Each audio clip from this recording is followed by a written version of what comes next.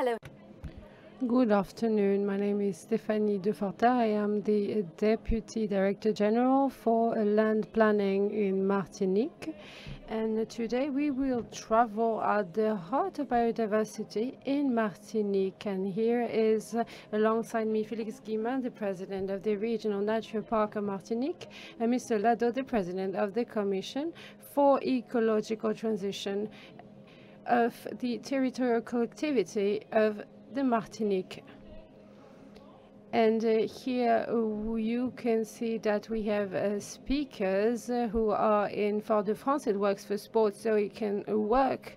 It can work for us as well. So we will hear from our local partners in Martinique. And here alongside me, Madame Crillon, the uh, director of the uh, Natural Marine Park of Martinique. I give the floor to the first speaker.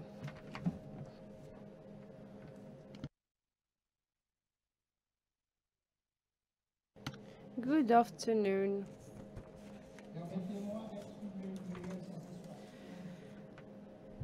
It, I am delighted to be here and I would like to thank the International Union for the Conservation of Nature. Thank you for letting the Natural Park of Martinique to be represented here and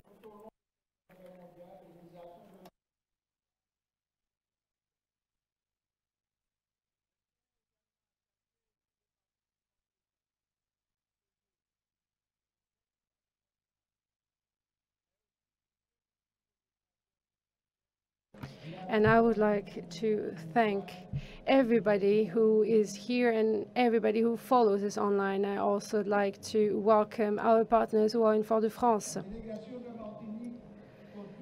The delegation of Martinique is here and we will make today a presentation about Martinique, its biodiversity that is a, a natural heritage we need to preserve and to manage.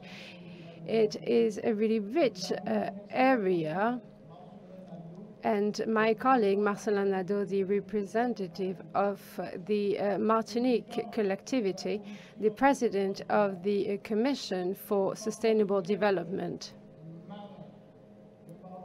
The, mm, so we have here different, uh, different bodies represented and the government services are here today. They're represented by uh, Madame Deporter. The overseas uh, have 80% of French biodiversity. Nature is everywhere here in the Martinique. Our landscapes are diversified. They have a breathtaking beauty and I am always proud as the president of the Regional Nature Park. I am always delighted to see that the UICN has acknowledged our natural area, has uh, recognized it and placed it among uh, 100 uh, unique sites for uh, biodiversity. There are so many living organisms in our island, and that is why we have decided to uh, join the World Heritage List to be part of the future of uh, French's natures, and we want all our landscapes to be part of this World Heritage uh, list, and we will uh, promote our application in July 2022. I hope that Martinique will join the World Heritage List. That is why I hope a congress such as this congress can one day happen in the overseas, or why not in Martinique. That's an idea.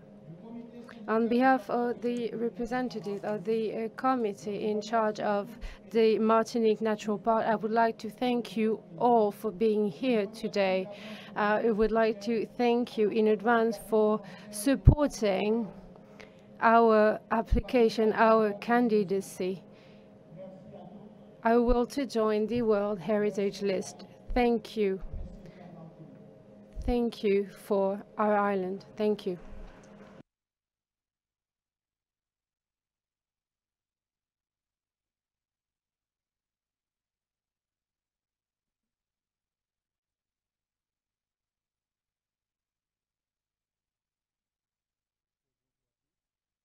Good afternoon, everyone. Good afternoon, all participants. I thank you for being here or online. Dear representatives of collectivities, uh, ladies and gentlemen, uh, the representative of the government, the partners, the institutional partners, the technical partners on behalf of the president of the executive committee of the Martinique Territorial Collectivity, Mr. Serge Letchimy, and on behalf of the president of the Assembly of Martinique, Lucien Saliber, and on behalf of all uh, the uh, elected politicians of uh, our territorial collectivity, I would like to tell you that it is an honor to be here today alongside the president of the Regional Nature Park, Félix Sismin, and alongside the deputy director of the DEAL Martinique. I am delighted to be here for this great event for nature. It is, uh, we need to be here because we are part of the overseas and we have a breathtaking biodiversity on land and on the sea. We have a rich biodiversity and a rich geological a rich uh, wealth. I'd like to stress that the Caribbean islands are part of one of the 34 biodiversity hotspots you can find worldwide because they have a unique biodiversity, a biodiversity that is unfortunately threatened by uh, human activities. It is therefore obvious that we face a loss of biodiversity. Two, this loss of biodiversity threatens all the services rendered by nature, that is, soil productivity, pharmacopy, the use of water, water use, and so on. We know now, especially since we are in a pandemic, so now we know that we need to improve the connection between man and nature. We need to change the way we see uh, other living organisms. We uh, need to uh, find this biodiversity to regain it because it is necessary for us, for our quality of life or for our day-to-day -day life. Martinique territorial collectivity supports a strategy for biodiversity and more specifically to preserve and to promote our natural heritage, a unique natural heritage. And yes, our collectivity is committed to protecting biodiversity. We are taking the lead in managing biodiversity, and we own a huge woodland area that was granted by our uh, former regional uh, council. We want to promote our uh, natural forest areas, and that's the reason why we will open many areas and many pedestrian uh, pathways to the public. Our collectivity makes a contribution to help preserve precious areas on land and on the sea, and it has created and manages protected natural area. For example, the Marine Reserve Albert Falco, a preacher at, and it, it uh, and this is this marine reserve was created a few years ago, and we have created another uh, one, and that was already awarded the IFRECOR Palm in 2012.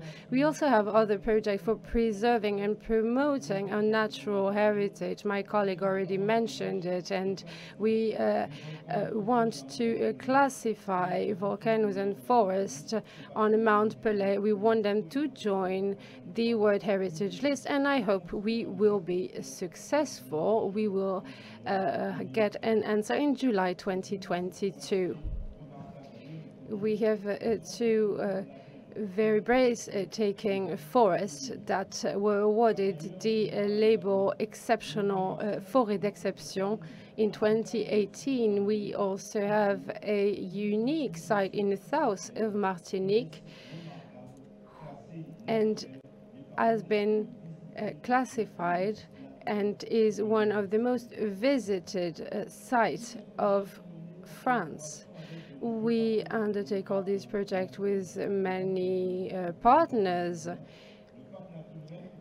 among them the Natural Park of Martinique, which is a major uh, actor and plays a crucial role for preserving nature in Martinique. We also have a, a natural marine park here represented by Jessica and represented by uh, uh, by here by Jessica. It was created in 2017 and represents a major management tool for protecting marine environments. Beyond these uh, measures, our collectivity wants to reinforce its commitment and engage infra-regional partners. And together we want to take concrete measures for biodiversity. We will use the TUN tool meaning territory committed to nature, and these measures will be implemented in the coming months. Beyond these tools, they're only tools. We, what we need is a political we will. All our local actors for land planning, industry, transport, all together, we should we should work towards preserving the biodiversity, and we are ready we are convinced that we need, since our ecosystem are so fragile and unique, we are convinced that it is pressing to implement all the policies I've mentioned, as well as all the tools that will uh, make it possible for us to reach these goals.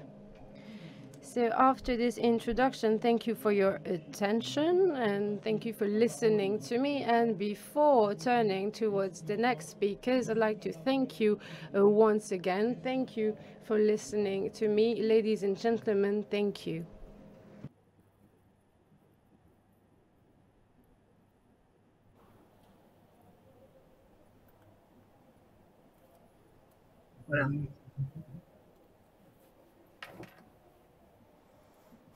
Voilà, nous allons poursuivre. Bonjour, donc euh, il s'agit donc, euh, donc nous sommes en duplex depuis la Martinique. une présentation à plusieurs voix entre la CTM, euh, les deux parcs et puis l'ADM. Présentation qui donc se déroule en trois temps, une histoire géologique brève hein, et récente, hein. les valeurs de la biodiversité de la Martinique, et puis, un focus évidemment sur les outils de gestion euh, qu'on a à disposition euh, pour gérer euh, toute cette biodiversité, cette richesse naturelle. Diapositive suivante. Donc, une brève histoire géologique, comme je l'indiquais. La diapositive suivante. Donc, au départ, les terres, évidemment, n'étaient pas émergées et c'est vers 50 millions d'années, euh, euh, avant d'avoir un hotspot écologique, on avait bien un hotspot géologique hein, dans ce secteur des Caraïbes au niveau de l'arc des Petites Antilles. Donc euh, des points chauds qui résultent évidemment d'une de la subduction, c'est-à-dire l'enfoncement de la plaque atlantique sous la plaque caraïbe, donc à l'origine de cet arc volcanique. Euh, à raison euh, d'enfoncement de 2 cm par an. Hein, et la Martinique, particularité, est la seule île de cet arc volcanique où euh, l'histoire la plus complète affleure. Vous avez sur la petite carte en bas à droite figuré les trois grandes étapes de manière très simplifiée hein, de la formation de la Martinique. En jaune, les formations les plus anciennes, donc, le, donc au, sud et, à l'est, avec la presqu'île de, de, la Caravelle, que vous voyez se détacher sur le fond noir. Euh, et envers les formations les, les, plus récentes, hein. sachant que le volcanisme est évidemment toujours très actif euh, sur ce secteur de, de, la, de, la, Martinique, en particulier dans le nord et, et dans le nord-est de, de l'île. Euh, donc l'érosion a ensuite façonné euh, euh, très rapidement tous ces édifices volcaniques, hein, qui sont des véritables puzzles de, volcaniques. Hein, y a de multiples volcans en fait, hein, en créant notamment du relief et des paysages qui sont propices au, développement de la végétation et évidemment de la flore et de la faune par la suite. Et l'histoire continue. Diapositive suivante.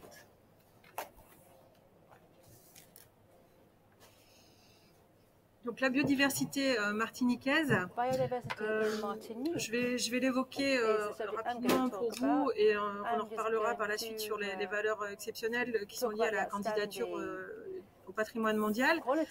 Diapositive suivante. Uh, Donc la, Martinique, le fait de cette diversité euh, des, périodes géologiques, présente une grande diversité de milieux, tant au niveau uh, euh, marin qu'au niveau terrestre. Euh, on y trouve bien évidemment des récifs coralliens de grande qualité, des herbiers et des mangroves. au niveau terrestre, on a différents types de milieux et notamment des milieux qui sont très peu présents aujourd'hui sur les autres îles des Petites Antilles, notamment les forêts sèches et les forêts mésophiles, donc qui se situent euh, principalement entre euh, le littoral et, 400 mètres, 400-500 mètres. Euh, ces forêts sont plutôt bien préservées sur les massifs du nord de la Martinique. On y trouve également euh, sur les massifs les plus élevés l'étage hygrophile, donc les, forêts humides, et tout à fait euh, en haut des pitons du Carbet et de la montagne pelée, euh, ce qu'on appelle l'étage altimontain avec des forêts d'arbustes, de broméliacées et de, fougères. Donc une grande diversité de milieux qui, qui est associée à la grande diversité du terrain et entre le, sud et le, nord de la Martinique est liée notamment aux différences aussi d'hydro Diapositive suivante. Donc la végétation, euh, pour exemple, euh, altimontaine, uh, euh, on y trouve des espèces assez rares comme le colibri à tête bleue que l'on ne trouve que sur la Martinique et la Dominique ou la lobate de la Martinique, endémique stricte de la Martinique. cette végétation, ces, forêts sont très bien conservées. on les trouve principalement sur les pitons du Carbet, la montagne pelée, et sont essentiellement en forêt euh, public. Diapositive suivante. La forêt mésophile, c'est euh, la forêt quasiment la plus riche puisqu'on y trouve à la fois des espèces de la forêt sèche et de la forêt humide. Euh, donc, plus spécifiquement entre 400 mètres et 800 mètres, euh, plutôt dans un bon état de conservation avec néanmoins euh, des, secteurs qui peuvent être menacés par euh, les défrichements, l'activité anthropique, avec un niveau de pluviométrie un peu inférieur à ce qu'on trouve sur l'étage altimontain. On y trouve dans, cette forêt des espèces comme le matoutou falaise, la migale de Martinique, le cerisier montagne également, ou encore la chauve-souris, l'ardops des petites Antilles. Euh, Diapositive suivante. Euh, au niveau marin, euh, on trouve des herbiers dont l'état de conservation n'est pas très bon puisque seuls 12% des points de vérification sont bons. on y trouve des espèces comme le lambi, les oursins blancs ou encore les tortues vertes. Les coraux. Diapositive suivante. Et donc les récifs coralliens, ah, euh, dont l'état de conservation euh, est moyen, puisque 40% de ces coraux sont considérés comme dégradés euh, dans l'étude des fréquents de 2021. On y trouve des espèces comme le mérou de Nassau, l'acropora cervicornis ou encore le, le perroquet.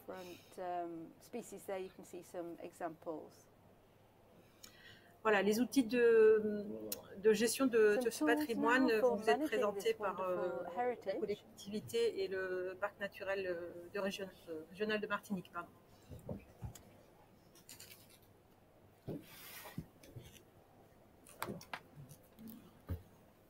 Bonjour. Hello.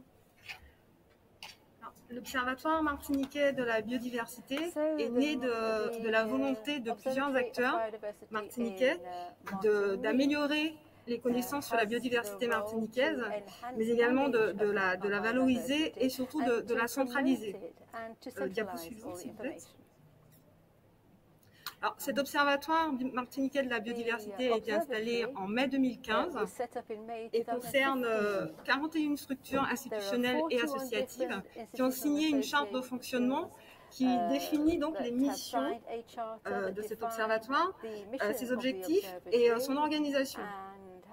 Donc, euh, les missions principales de l'Observatoire sont donc, comme je l'ai dit précédemment, de centraliser et euh, d'améliorer la diffusion de la connaissance sur la biodiversité, mais également d'améliorer le suivi de cette biodiversité, euh, d'identifier les manques à l'amélioration des connaissances, de proposer des actions, d'identifier des menaces et des pressions qui s'exercent sur cette biodiversité, et ainsi d'accompagner les collectivités et les acteurs locaux, comme les associations, etc., à mieux, à mieux prendre en compte cette biodiversité dans leurs actions. Et bien évidemment de valoriser, euh, d'améliorer la valorisation de, cette biodiversité. Alors, euh, ne sont pas concernées seulement les espèces patrimoniales et, protégées, donc euh, cet observatoire uh, va, va concerner plusieurs champs notamment la biodiversité biologique, bien sûr, terrestres, aquatiques, marines, différents taxons, les espèces exotiques envahissantes, les, espèces rares, les espèces communes, la géodiversité également, et euh, les interactions entre la société euh, et, cette biodiversité. Les espèces domestiques sont également concernées. Pour euh, illustrer quelques illustrations concrètes, cet observatoire permet donc la réunion des 41 membres sous la forme de comités de pilotage, plusieurs comités de pilotage par an, des comités techniques qui sont regroupés sur des euh, thématiques diverses. Ensuite, plus concrètement encore, euh, la mise en place d'un site internet depuis environ trois ans qui permet de mieux diffuser euh, les connaissances, le grand public également. Euh, différents posters sur les colibris, euh, sur les papillons, sur les mollusques terrestres, à destination du grand public et des écoles.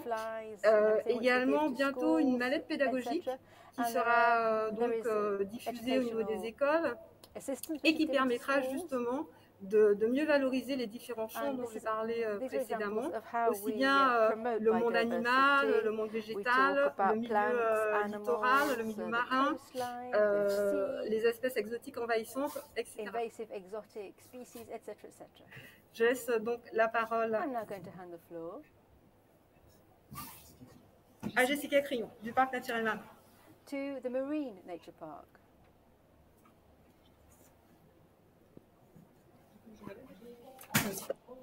Hello, everybody.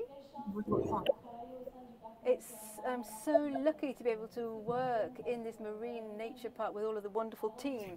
Before uh, I say anything about it, all what I want to say to you is go diving in the deep waters uh, around our island with the entire team. So our marine nature park was created in 2017. It was created because Martinique is very rich and under the sea there is a lot of damage that is caused. There's a lot of pressure to the sea environment and what we want to do is reduce those pressures. Our nature park covers all of the waters around Martinique. That's 48,000 square kilometres, so it's a huge marine park. So we have a team of four but the marine park really is a wonderful tea, uh, wonderful tool because we have uh, a management committee, 51 people. We've got uh, uh councillors, fishermen. We've got uh, uh, uh, associations that uh, defend uh, nature, and it's really because everyone wants to be involved. We can see how quickly damage is incurred and we can't do anything on our own, so we all have to work together. There's a lot of discussion, a lot of debate, and sometimes it can be a bit tricky, but uh, gradually we are managing to work on all of the different pressures to try and work towards reducing these different pressures. So we've got a management uh, uh, plan and a strategy for 15 years. So our management plan is very ambitious. Martinique has committed to several strong points, zero pesticides, for example, zero waste, and also there's a lot of work being carried out on reducing pressure to enhance the situation. So in concrete terms, what do we do apart from our governance? Well, we've got a team, there are 22 people in the team out on the field, we monitor situations, we work on different types of uh, problems, or even on traditional fishing and the impact it, the impact it can have on biodiversity, because we have to perhaps reduce some of the traditional fishing. Uh, we have uh, a lot of work uh, we know that we're all linked, and our sea is linked to the Sargasso Sea, and we uh, also receive water from uh, Amazonia. So all of the nutrients that come from uh, deforestation in uh, Amazonia, we've talked about uh, deforestation and, and mining, etc. Well, we get those same currents, and uh, we have these build-ups, and that kills a lot of our coral. So we try also to work with the neighbourhoods, with the citizens, to make them aware of how important biodiversity and nature are. So we get people, we've got a campaign currently running whereby people are encouraged to dive, to go down into the sea, to uh, see what treasures are down there. We uh, have a lot of uh, leisure sailors and we're trying to master how the anchors are dropped. We've got some scientific programs also to find out more about the seabed because the, the more we'll be able to monitor the seabed, then the easier it will be to prove whether our initiatives are, are working or not, and then we can make improvements. Earlier on, we talked about that huge uh, problem with damage to coral. The hardest thing is to get people to change their behavior because it's the population that has to change its behavior. And we have to take an interest in um, all kinds of species, not only the uh, sea turtles, but all, all of them, because we're all linked in a big uh, world of the living. We're, very, we're in very complex uh, ecosystems and we don't understand everything. So just to be cautious, it's best for us to protect absolutely everything. Thank you for listening.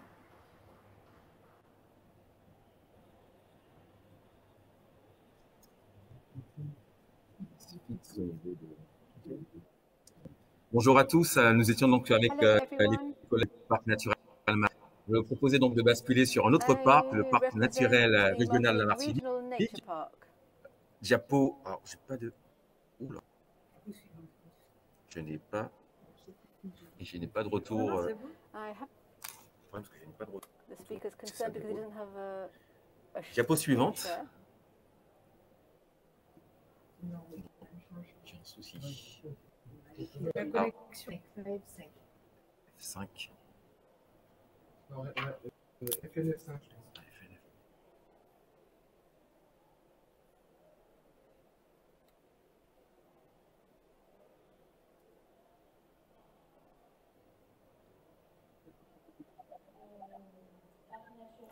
the regional nature park in Martinique. We cannot hear you. Uh, the uh, bon, là, connection is not very good. Vous nous entendez? Can you hear me now? Yeah, we can hear you now. Ok. On n'a pas le retour image par contre. We don't have a, an image of the screen, sadly. We can't see what you're seeing. Alors oui, bonjour à tous. Alors euh, désolé pour ces contingences euh, techniques, mais nous n'avons pas forcément de retour d'image sur vous. Uh, euh, si on pouvait mettre donc, la diapositive avec l'ensemble du cheminement euh, sur donc, le, le, parc naturel régional de la Martinique, euh, je ne veux pas reprendre les éléments qui ont déjà été dits dans les éléments donc, uh, liminaires. De manière très ramassée, le parc naturel régional de la Martinique, qu'est-ce que c'est C'est un des 56 parcs régionaux donc, de la Fédération des parcs. C'est l'un des plus vieux parcs, l'une des plus vieilles institutions, donc, j'ai envie de dire, politiques politique, hein, et instance donc martiniquaise, donc la création du parc s'est faite en 1976. C'est à peu près donc effectivement donc les deux tiers du territoire de la Martinique, hein, à peu près donc aux alentours de 63 000 hectares. Et euh, c'est un territoire qui est effectivement euh, particulièrement riche du point de vue de la biodiversité. Euh, et pour ramasser un petit peu donc la présentation sur les éléments qui ont déjà été précisés, c'est que la vocation du parc naturel régional en tant qu'outil et dispositif à la valorisation et la protection donc, euh, des, patrimoines naturels et culturels et de la nature au sens le plus large que possible.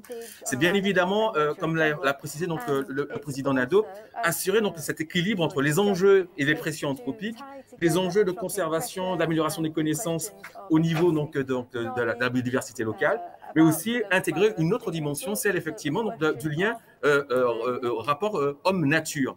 Et c'est bien pour ça qu'aujourd'hui, donc les grands enjeux, les grands objectifs sont effectivement d'abord identifiés donc et les secteurs à valoriser, les secteurs à protéger, les secteurs également aussi donc à, créer donc, les, conditions d'aménité à la fois environnementale, économique et touristique qui permettent effectivement ce, jeu d'équilibre.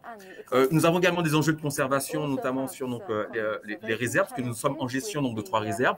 La réserve donc, donc de de, la Caravelle, donc en 1976, qui a été créée, celle donc, des îles de Sainte-Anne euh, en 2000, 84, 95. la réserve de Farcus a été prise également donc, en 2014. Et puis nous sommes en, en, phase de finalisation où il est, le parc est, pressenti pour être effectivement gestionnaire euh, de la future réserve territoriale, donc de la, de la baie de Donc simplement pour vous dire qu'effectivement le parc naturel régional du fait de son territoire, du fait, de, des missions qui lui sont conférées, et un acteur au centre, je veux dire, donc dans la, synergie des partenaires en, place.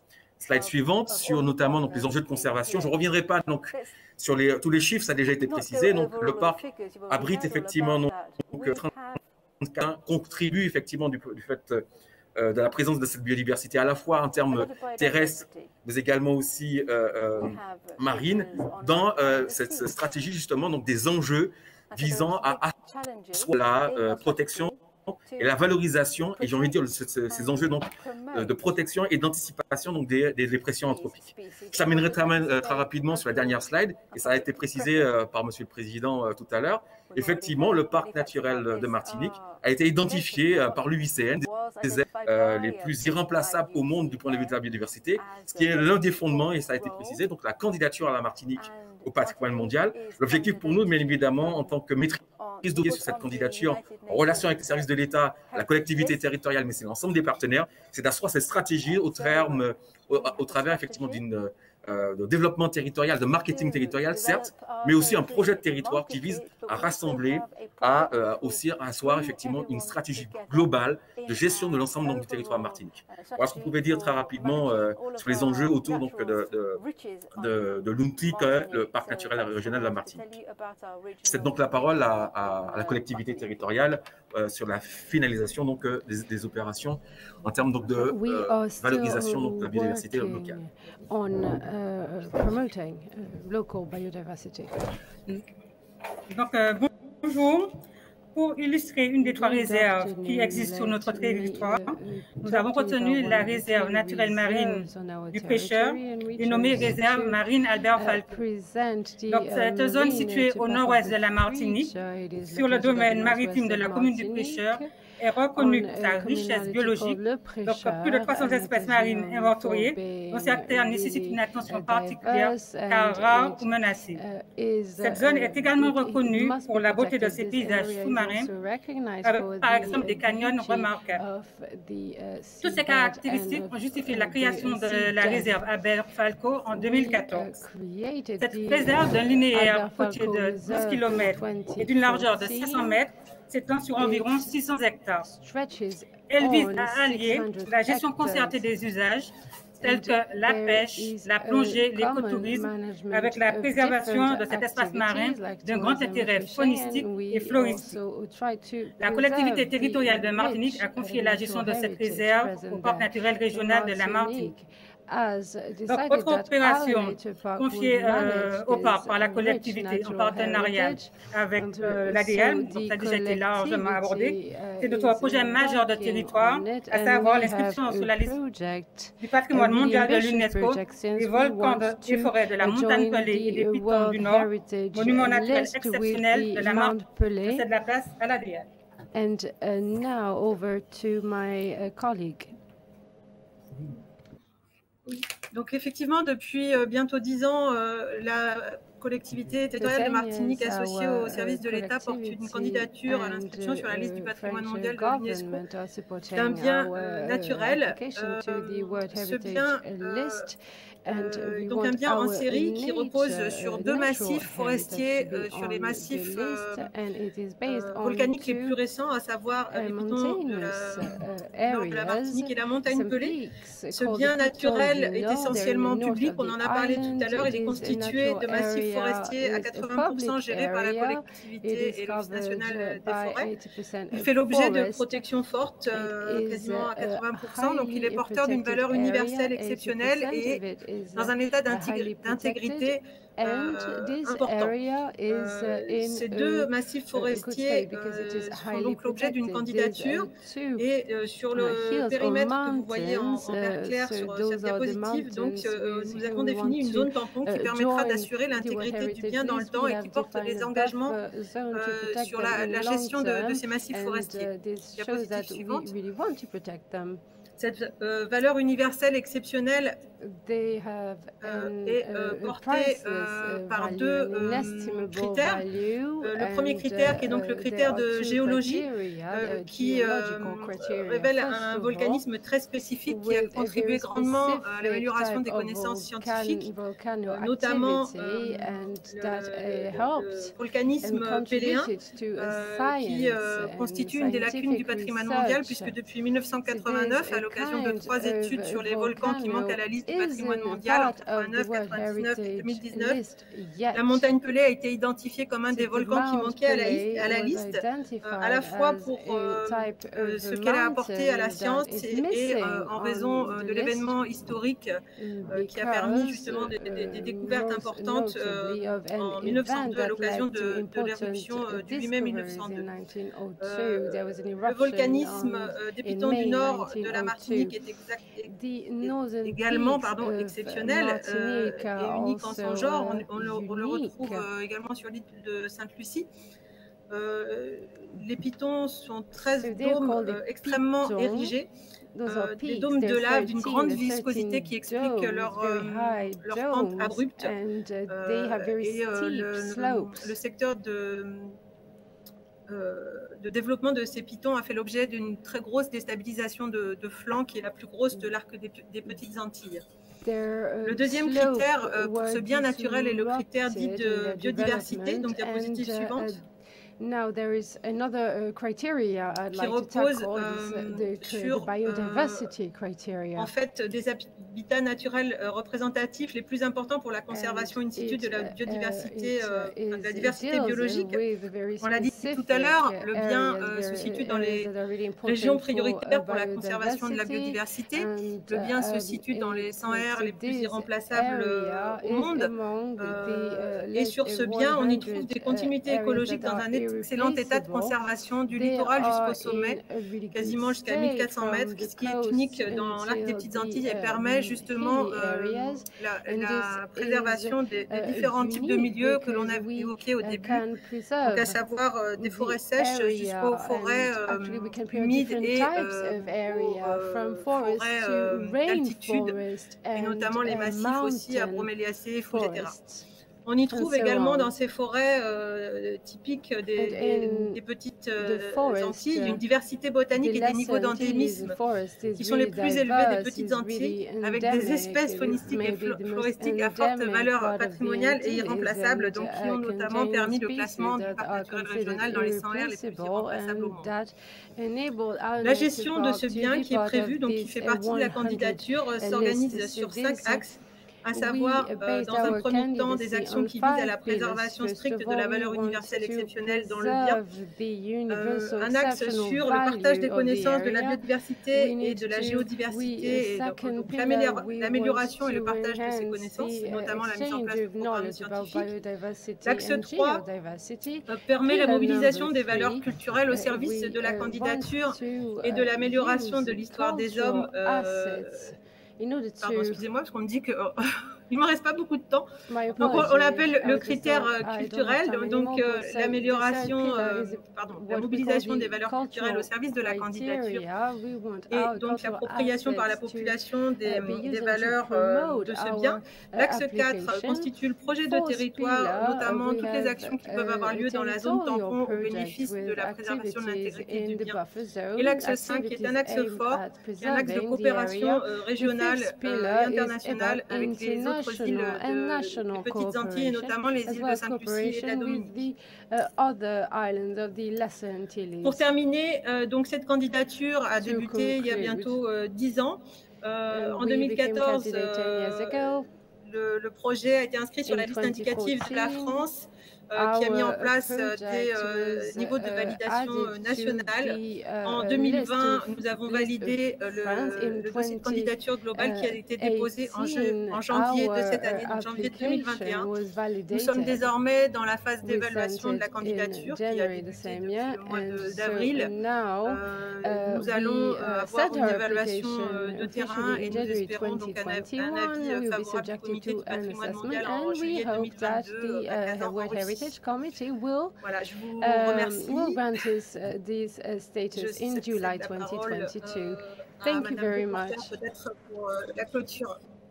Euh, Over to my uh, the speakers in Marseille.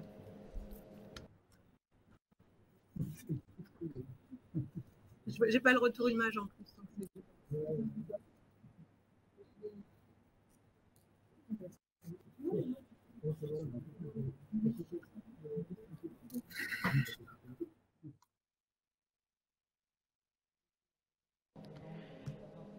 Thank you, dear speakers who are in Martinique. Thank you for presenting us all the challenges linked to biodiversity. Let's have a small, a short break before the next session. Thank you. Good afternoon, ladies and gentlemen. We are two minutes ahead of schedule. But as you know, time is precious. So without further ado, let's start this session. My name is Eric Tardieu. I am the General Secretary of the International Organization uh, of uh, Basins, and we are delighted to welcome you here at the French Pavilion for this session about an initiative called 100 Projects uh, about water and climate in Africa. I will tell more about it in a while. But first things first, let me introduce our distinguished speakers. Laurent Roy, the Director General of the Water Agency, Rhone, Mediterranean and Corsica the so he is actually competent for the area around Marseille. Fosy Brezeville, the co-regional coordinator in the Organization for the Promotion of Senegal, based in Dakar, and we are delighted to have him here. And uh, Marie-Laure, Marie-Laure Vercambre, the Director General of the uh, French Partnership for Water, who will conclude our session in a little less than 30 minutes. What are we talking? What are we going to talking about? We talk about this afternoon. It's an initiative started in 2017 called 100 Project about water and climate in Africa. We chose Africa because it is highly impacted by climate change. Some of you have already already see the effects of climate change on a day-to-day -day basis. Uh, uh, at least that's what uh, the media uh, says and shows. Uh, we see, we hear a lot about there are many wildfires, water issues, many challenges in farming, and so on. Consequently, we need to act, we need to react, we need adaptation measures to fight climate change. So we needed to nurture new projects. We're talking about incubation, and uh, this is, uh, we hear a lot about it, uh, and uh, since financial backers say that they don't have enough bankable project to fund. See, that's not really uh, uh, romantic, it's really practical, but that's how they say it. And um, there are many uh, people here, maybe in this Congress, who want to promote projects and who don't know how to uh, tackle uh, finance in the field of climate change. So they don't know how to uh, fulfill criteria in order to get funding. So that's when uh, one our project uh, uh, can get on the stage uh, because this project, this uh, program can follow projects from their creation until to until they get funding. So we are in the middle of the uh, process uh, framework and uh, today we will tell you about two, uh, two cases, two examples, two success stories uh, uh, of this initiative. So that's what we're going to talk about this afternoon. what we want to stress is that it is possible to uh, to build project for climate, but it is really important to focus on the first steps of the project. You uh, got to uh, uh, keep moving forward without being discouraged. And the first phases of projects are crucial for the success of a project and for a pro project to get funding. I will stop here and I'll come back to this later if you have questions. But without further ado, I'll leave the floor to Laurent Roy, the director of the Uh, uh, French water uh, agency. Uh, French water agencies are really active uh, uh, with this program because there were 100 projects that were accepted in five years, and French water agencies have have agreed to help and provide guidance to many of them. So, Laurent, over to you. Thank you, Eric.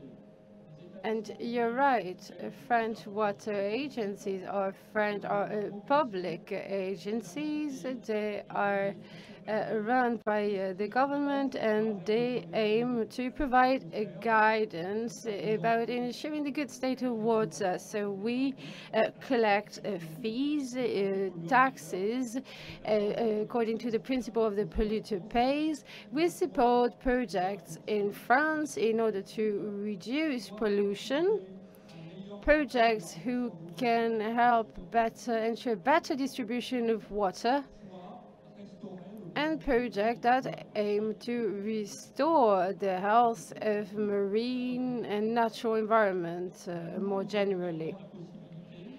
Legislation lets us allocate 1% of our annual budget to decentralized cooperation. So we can support projects that are backed by local collectivities and we help them develop, for example, access to water or access to sanitation in the global south. So to support this decentralized cooperation, granted by the law, we uh, have a uh, institutional cooperation system where we collaborate with all uh, stakeholders, all relevant stakeholders, and together we find solutions to respond to current challenges, for example, adapting to climate change. So that was uh, a general overview of uh, the, what we do. On the other hand, we know that uh, climate change, and I won't go deeper into details, everybody knows that climate change is happening. There are many people who didn't believe climate change was happening, but uh, here we go, this summer there were so many uh, disasters and catastrophes with uh, dramatic uh, consequences, tragic consequences. So uh, we are convinced that uh, climate change has the most dramatic effect invisible effect on water because climate change uh, exacerbates the pressure exerted on water. And this leads to more frequent extreme weather events. There are longer droughts. They happen, they're more frequent. So there could be some dispute linked to water use. Uh, but water is necessary for us to have drinkable water, for us to, for agriculture to produce electricity and to ensure that uh, the, the, ecosystems can uh, survive. So resilience and ecosystems are also impacted by climate change. So on one hand, uh, we've got water and global supply. On the other hand, there is climate change and uh, climate change with that impacts water with uh, tragic uh, consequences for local population. So that's the reason why water agencies had uh, to uh, partner with this initiative, the 100 Project Water and Climate Afri Africa initiative. It was announced by President Macron in 2017, and then water agencies committed to support 20 of the 100 projects of the initiative. So we will be an, a so-called incubator. We will provide uh, guidance on the selected area. We will help uh, projects uh, be built and then we will uh, help them uh, present their projects to uh, financial backers so that they can implement the project they conceived. So our role here is to help the selected territories to uh, build their project and to uh, respond to answer to the criteria set by international backers. So our target is a 20 project out of 100. There are 12 incubators, active incubators worldwide. They're being helped by water agencies the um, 150,000 euros per incubator, but uh, my uh, colleague here, the, my guest speaker, will tell you more uh, through his project on the Senegal River. Um, I have uh, developed four incubators supported by the Water Agency for the Rhone Mediterranean and Corsica region there's another project backed by another uh, water agency. This project is uh, based in Burkina Faso and aims at promoting local resources to support family uh, farming. This project also aims to combat desertification because the organic material that is collected will be used, uh, uh, will be reused and will contribute to the Green Great Wall. And secondly, this project will help develop local livelihoods too. This project also aims to gather 1 million euros funding with the uh, Climate Adaptation Fund, the African Development Bank. So this uh, is, so we're really talking about an incubator and this uh, project obviously faces challenges because the security challenges in the Sahel region, but we keep on uh, supporting it. We also support three other projects and uh, they are supported by my agency. First of all, there is a project in Mono River. This is a, a trans-border drainage area between Benin and Togo. The incubator is based in Benin and aims to vegetalize the drainage area to fight deforestation, preserve wetlands, support population resilience, and we will focus on different specific uh, species. Um, there are some added value uh, so-called species, uh, plants that could be medicinal plants. And that is one of the uh, really interesting uh, points uh, here. The, each of these projects also have a social dimension. So we don't want project to be imposed from the top. Everything starts with a local population and will benefit local populations we need to ensure locals get access to uh, resources, to uh, woodland resources. That's an efficient way to fight against deforestation.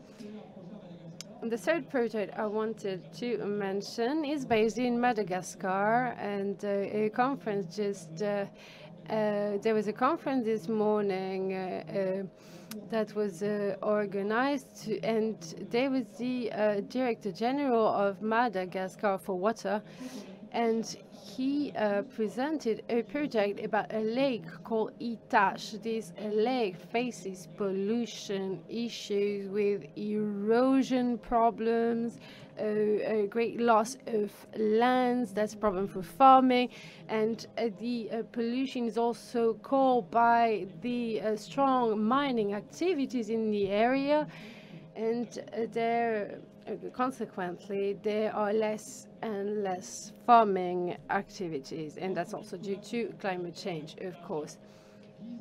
This third incubator aims to provide guidance to local farmers to develop a resilient agriculture with level curves. We need to preserve soils. We will follow the indicators we have. We will develop uh, plantations for fruits, for example. This kind of plantation can offer an immediate added value to local population. So we will uh, tackle uh, water issues linked to the lake uh, with provide drinking water to the population. But this project, this incubator and project also deals with other issues.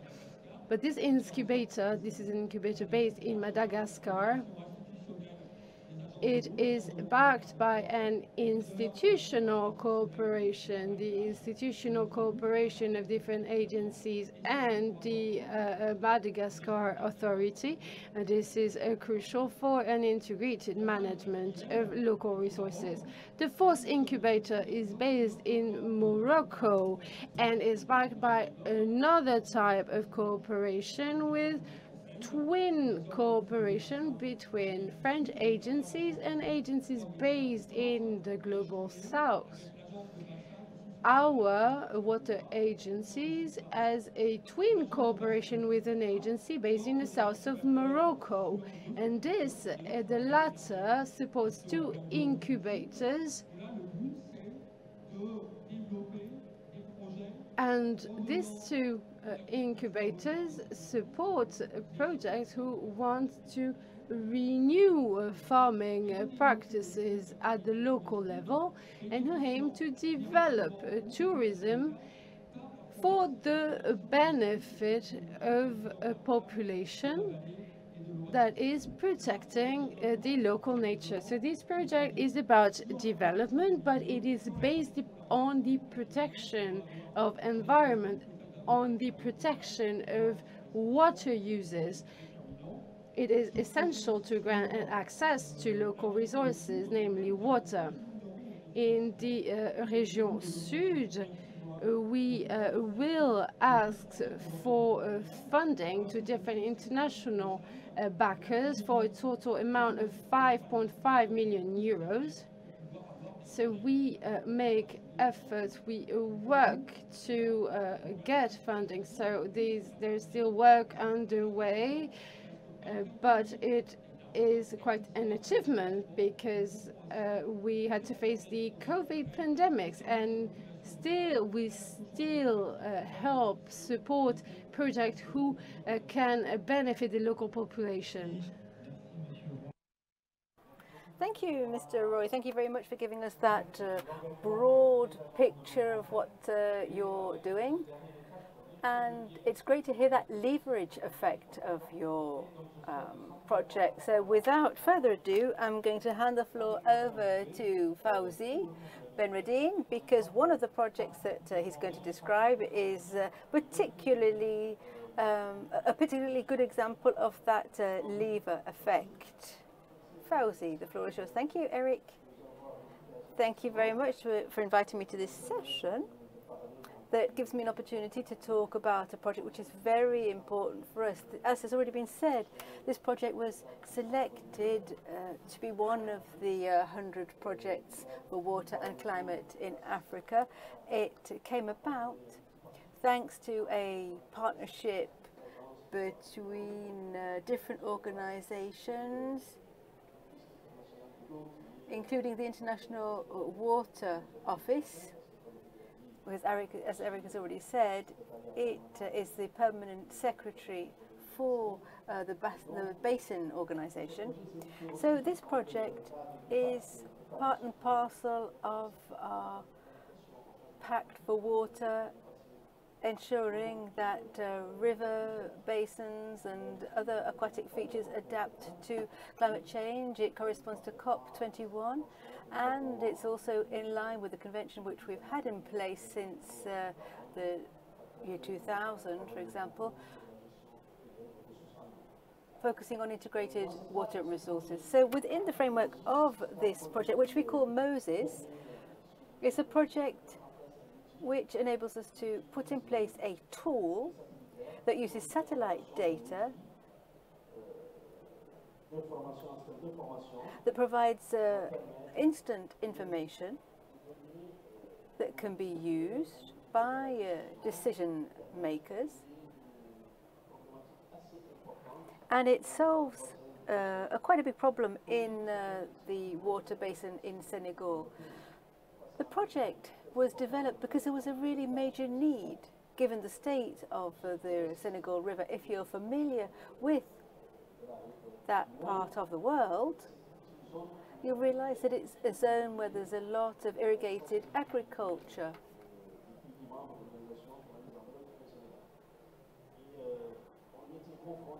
So we were facing the need, the urgent need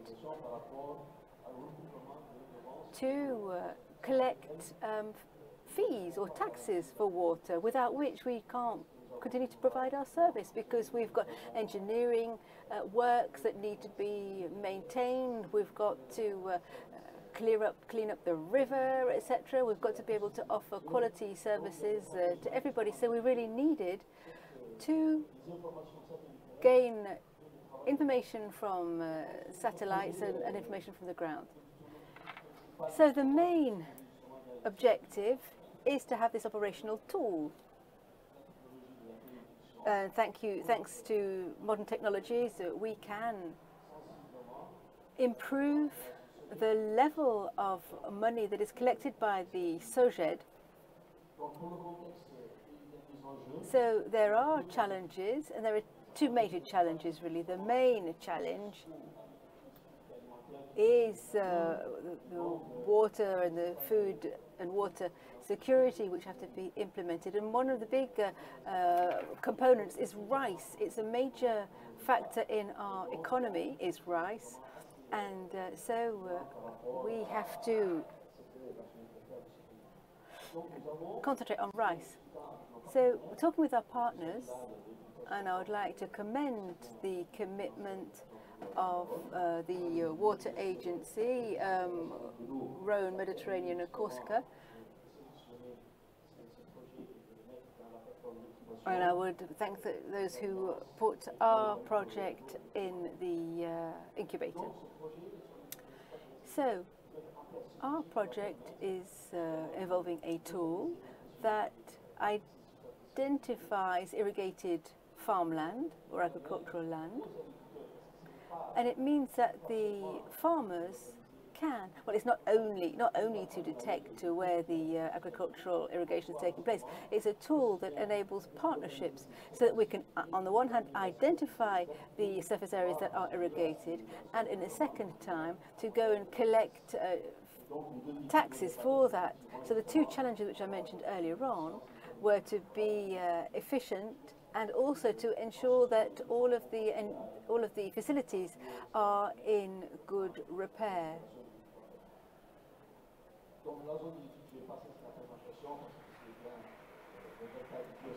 So we're talking about the delta of the Senegal River. It's quite a unique zone. 80% of irrigated surface or rather the delta contains 80% of irrigated services, uh, surfaces. So we weren't collecting any tax for irrigation of rice. There are some big consumers that have huge parcels of land. And since we've started our policy, we know that some of the agricultural land has grown bigger. And so given all of the work that has been carried out, then the farmers are earning a lot of money. And so we were asked to put in place a tool that would uh, considerably help help us to, to collect considerably more taxes. So we've got a web service for our satellite information, and we can also assess how much land is dedicated to the growing of rice. We need to monitor those surface areas, so that was a useful tool and we can monitor how uh, the uh, surfaces, surface areas are growing. And of course, we also want to enhance the capacity of our agents as they monitor the development of the rice growing lands. We have underlined an important piece of work which is the, the job out in the field. Of course, it's important to have satellite imagery, but it really is important also to be on the ground and to uh, back up and check this uh, satellite information and also to, to construct partnerships with the rice growers because without that partnership then uh, the uh, tax collection is just not possible. I'm going to talk about the uh, processing chain, if you like. So the seasons come and go. The, the soil is impacted by the sun. Sometimes it can be burnt and then uh, it might be watered and that will make things a little bit better. I'm just going to say a couple of words about the platform itself without being too technical. So we purchase satellite images from Sentinel-2 and so we identify where the vegetation is, and then uh, we do what is necessary to validate the information that we glean from the satellite. We do fine tuning, if you like, and then we take a look at the results. So that means we can deploy our tool on WebGIS and uh, publish on WebGIS for our partners. And so we have already been able to do a lot of monitoring work to see how much land is watered every season. As you can imagine, the information that we get, because traditionally we just ask the farmers to provide that information, but now we've realized that there's a huge difference between what information the farmers were giving us and what the satellite is telling us. So we can compare the surface areas, and then we've got all kinds of uh, invoicing processes. And I'm now going to talk about the future perspectives because this project is only the first step of a very big regional project that will enable us to, uh, to deploy this even further. So we have to get the tool um, certified. The invoicing service is already ready. And then from working only in the delta, we want to spread out to the, uh, to the whole river. So over time, things will be rolling out. We've got uh, OMVS to, is going to carry out certain uh, initiatives. And we too will uh, continue to partner different players with the water boards and other partners in the future to complete this project and have a tool which will enable us to preserve our water resources and to be more rational in how they're all used. Thank you for listening. Well, yes, that just goes to show how much te technology can help us. Now, I hope there are no urgent questions in the room because we only got five minutes left. But for these last five minutes, I'm going to hand the floor over to Marie-Laure Vercambre, who is going to wrap up our session. And she is, of course, going to respect the time window which has been allotted to us. Thank you very much. But you can ask uh, questions. Uh, after the actual uh, presentation, we will hang around. But I'm just going to present a conclusion now. So we have presented to you this initiative that the French Partnership for Water is supporting. We are working, working with the I, EIO and uh, different uh, partnerships. We're working with a platform with 200 members, 200 players in the world of water provision. We've got water boards, the OIO, we've got public uh, administrations, uh, uh, ministries, we've got uh, the NRC NRS. So there are many partners involved. And so we are part of this initiative because we support a uh, sludge spreading project in Senegal. We'll be presenting our results in Dakar at the uh, Water Forum. So you've heard about different projects, so replanting vegetation in Benin, resilient agriculture, and all of these projects have got high added value. You've also heard talk about the twinning program in uh, Morocco with the French um, Water Board and the Moroccan ones. We are also doing uh, ecotourism projects as well. And we're also, we've also heard about the work in Senegal to uh, promote the Senegal River there. So presenting this initiative is a way of reminding you of how important water is in the context of climate change and adapting to that because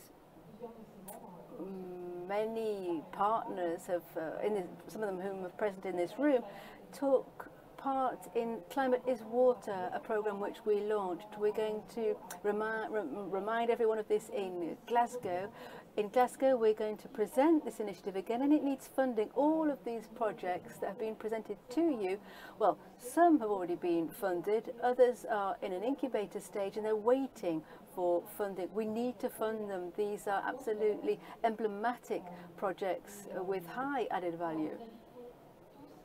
So I would invite you all to come to the session uh, that you can read about on, on the net that we're going to be holding in Glasgow. Let me just tell you in the meantime how important water is and how important it is to uh, adapt. During this Congress, at the IUCN Congress, 90% of aquatic populations have disappeared in 50 years and 84% of wetlands have been dried. So I want you to draw that uh, conclusion for yourself between adaptation, water and climate. Thank you for listening. Mr. Ministers, Madam Minister, ladies and gentlemen, this event is a joint initiative undertaken by the Minister for Foreign Affairs of France and Gabon, Jean-Yves Le Drian and Pacôme Moubelet-Boubeya, for the uh, Alliance Preservation of Tropical Rainforest. France has initiated this alliance during the G7 that took place in Biarritz and was launched officially at the United Nations in 2019. This initiative is a high-level uh, platform with forest and non-forest uh, countries focused on different uh, tropical basins in, on different continents. Three years after it was launched in Biarritz, this alliance has a charter signed by 31st member countries, among which Gabon, Congo, Cote d'Ivoire, Kenya, and Morocco. Gabon is here represented by Mr. Guy White, is online. He has officially backed the alliance during the COP25 in Madrid in 2019. As, uh, as the Charter reminds us, we need to uh, put an end to the destruction, the destruction of nature to uh, reach the target of the Paris Agreement, to uh, work for the post-2020 uh, International Agreement on Biodiversity. This alliance, more specifically, aims to implement sustainable value chains uh, and to fight against different extreme weather uh, events and the degradation of forest. The national strategy to uh, fight against deforestation implemented by France calls for the commitment of businesses and public institutions. This gives us the opportunity to gather uh, private uh, sector partners and to showcase the relevance of a French and African cooperation in this field. This session will aim to lay the foundations of the operationalization of the alliance by creating a business forum in order to implement sustainable value chains in Africa. Over to Mr. Minister Jean-Yves Le Drian.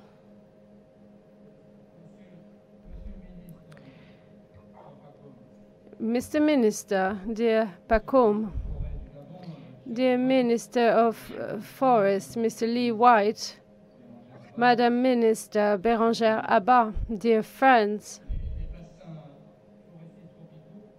tropical forest basins are part of humanity, humankind's common good. It is a sovereign area for states on which they're based they are also part of the natural heritage, and it is our responsibility to protect them because they are the lungs of our planet. So that's why we work with our allies to fight against climate change. They are reservoirs for biodiversity. Many communities work in these areas. That's the reason why France supported by Gabon, has launched this alliance during the Biarritz summit in 2017, while the rainforest was burning. There are 31 member states in our alliance, and they are they follow a charter who aims to preserve, to fight against factors of deforestation and other factors that of degradation of the forest. Our forests play a crucial role in our ecosystem. There have been many wildfires this week, so we need common efforts to preserve them. I am uh, delighted to say that, dear Pacôme, we have a very dynamic partnership with Gabon. We started it early in the field of land planning, forest land, woodlands planning. And this cooperation is crucial for the future, as well as for the multilateral dimension of the environmental issue. France has uh, granted 100 million euros to this cooperation, as well as many other fundings uh, for projects uh, about wood, about uh, protection of the environment, about the protection of flora and fauna, or um, and we have been working together for a long time, and uh, we have this common will to work together, especially uh, in Central Africa, where we are launching two projects to promote sustainable development projects in uh, the forest.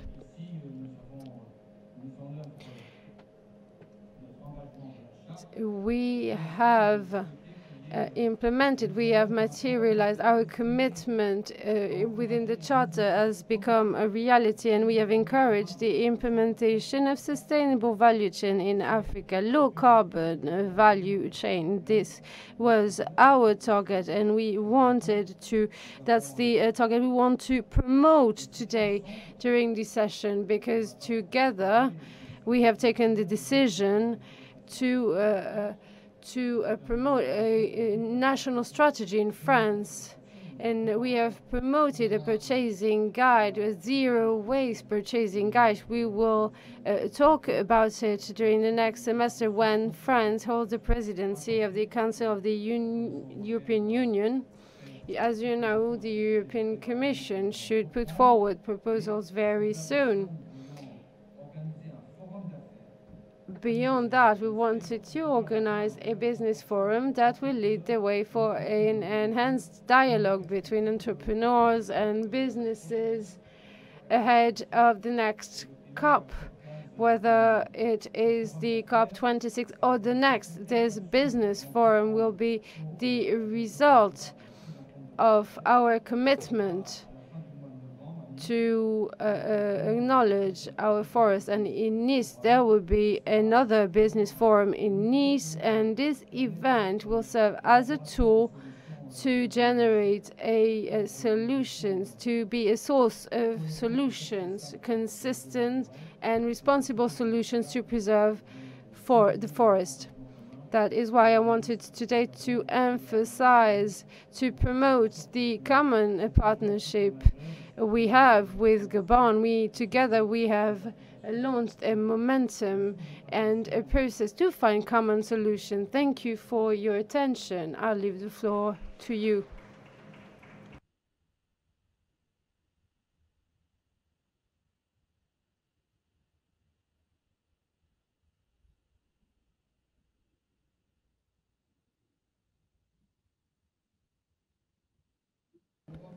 Mr. Minister of Europe and Foreign Affairs in France, my brother Jean-Yves, Mr. Minister Lee White, who follows our session from where he is in the Netherlands, Madam Minister, Madam Ambassador of Gabon, Mr. Chief Negotiator Andy Gahouma from Gabon, dear guests, ladies and gentlemen. First of all, let me remind you that one month ago, the IPCC the, has published its sixth report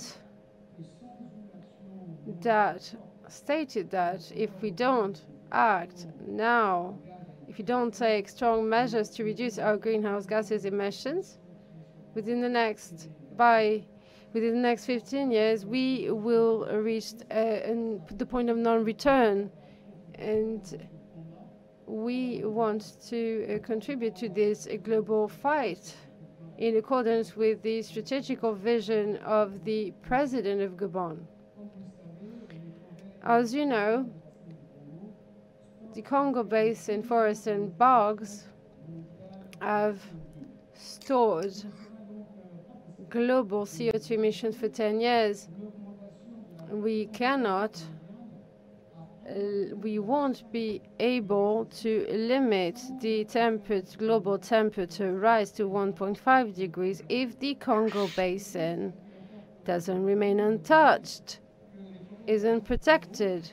The Congo Basin forest fuel the Sahel and the mountains. They provide rain to these regions. They it has a, endemic ecosystemic it renders ecosystemic services and preserve the uh, social uh, social peace the Republic of Gabon has many forests. There's a low rate of deforestation, and uh, uh, there is a unique biodiversity there.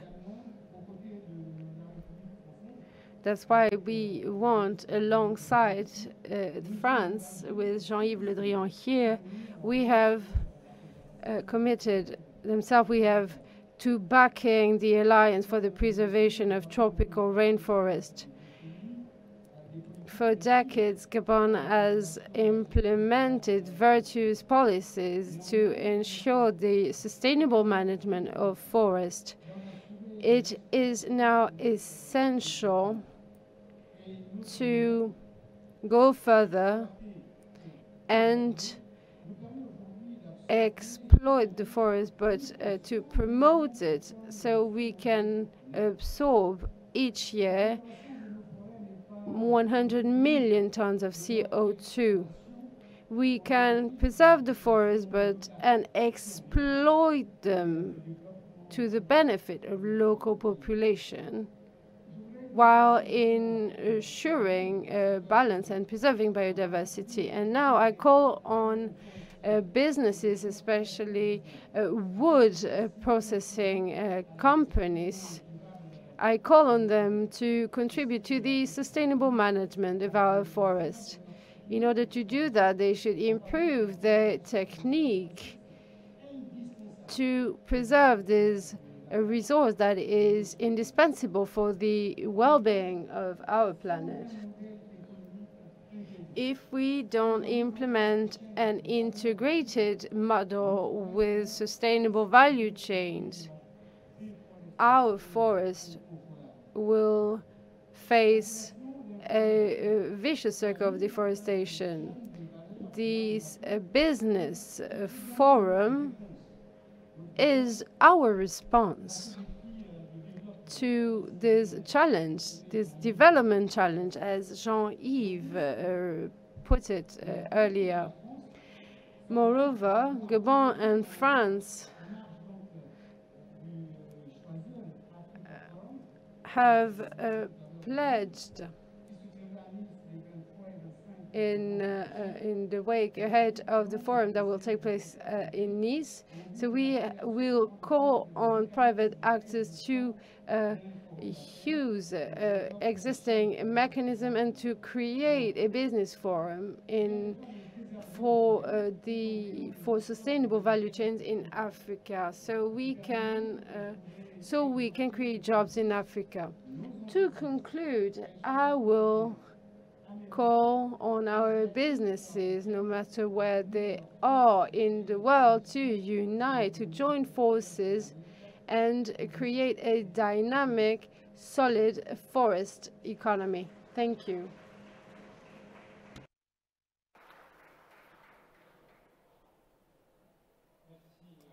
Thank you very much, ministers, for those words and those announcements. We're now going to hand the floor to Professor Lee White, uh, Minister of uh, the Forests, who's speaking from Germany.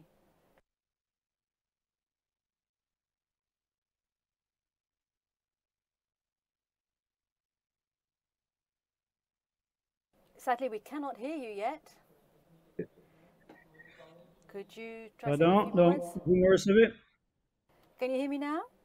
Donc, euh, bonsoir. Mesdames et Messieurs les ministres, on, on voit bien que le ministre Pacom euh, est un ancien ministre des Eaux et Forêts. Il a bien présenté les, la situation. Il a pas de, on ne peut pas gagner la guerre contre les changements climatiques sans une bassin de Congo intact. Euh, le Gabon à 88% forêt doit absolument maintenir son couverture de forêt, maintenir cette absorption nette de CO2. Euh, et nous sommes convaincus que c'est à travers une exploitation forestière durable, responsable, euh, à travers un partenariat euh, entre le public et le secteur privé qu'on va pouvoir faire cela. Aujourd'hui, 100% de, notre bois est, transformé au Gabon, mais pour l'instant, la plupart transformés euh, au, premier niveau de transformation. Uh, Et dans nos analyses économiques, on est, on est convaincu que si le Gabon n'a pas un modèle économique, un business plan pour préserver nos propres forêts, euh, inévitablement, nos forêts vont suivre le, même trajet que les forêts un peu partout dans le monde. On est convaincu qu'en passant à la deuxième, à la troisième transformation, en exploitant rationnellement notre um, forêt, en, suppléant, en, amenant un, un, supplément de bois dans les plantations, on peut multiplier fois 20 notre économie forestière. On peut petit à petit remplacer le pétrole qui est destiné à disparaître euh, de notre économie à cause des changements climatiques avec euh, des produits bois. On sait que nos produits bois doivent être légaux doivent être uh, exploités durablement, doivent être positifs pour le climat, doivent être positifs pour la biodiversité et doivent être exploités d'une façon respectueuse de nos populations. Et si on peut faire ça, avec des, sociétés euh, forestières privées et des sociétés de transmission de bois, on peut préserver la forêt en exploitant la forêt.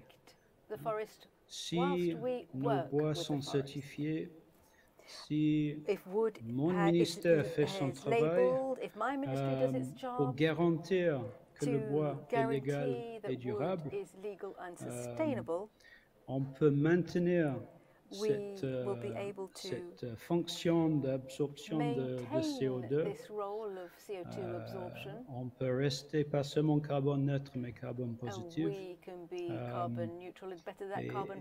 et, c'est vraiment ça le, le, le vision aujourd'hui du ministère, du gouvernement du Gabon. Donc, main dans la main avec le secteur privé. Euh, euh, il faut qu'on travaille pour préserver les forêts du bassin de l'Ogooué et peut-être à travers ce modèle, on peut inspirer également euh, les autres pays du bassin de Congo de préserver cette forêt qui est critique pour l'homme. Donc, merci pour votre intérêt. Euh, cette initiative est très importante et on, on est, comment dire au Gabon, on est ensemble. Merci beaucoup et bonsoir. Thank you very much,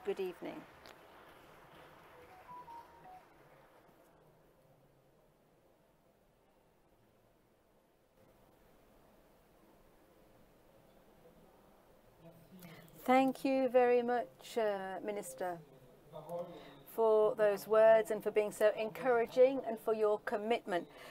I would like to uh, remind everyone how involved you were in the creation of this allegiance, this alliance that we're all now in. So, ministers here in uh, Marseille, you've uh, encouraged the private sector to respond to your call. We are going to hear from the private sector now, get some comments, I'm sure, from the general manager of the International Technical Society of Exotic Woods, Benoit Duval, who is, uh, is with us today.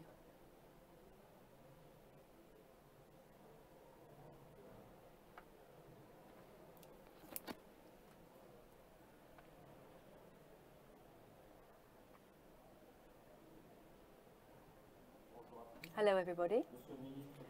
Minister of Europe and Foreign Affairs, Mr. Minister of Foreign Affairs of Gabon, Madam Minister,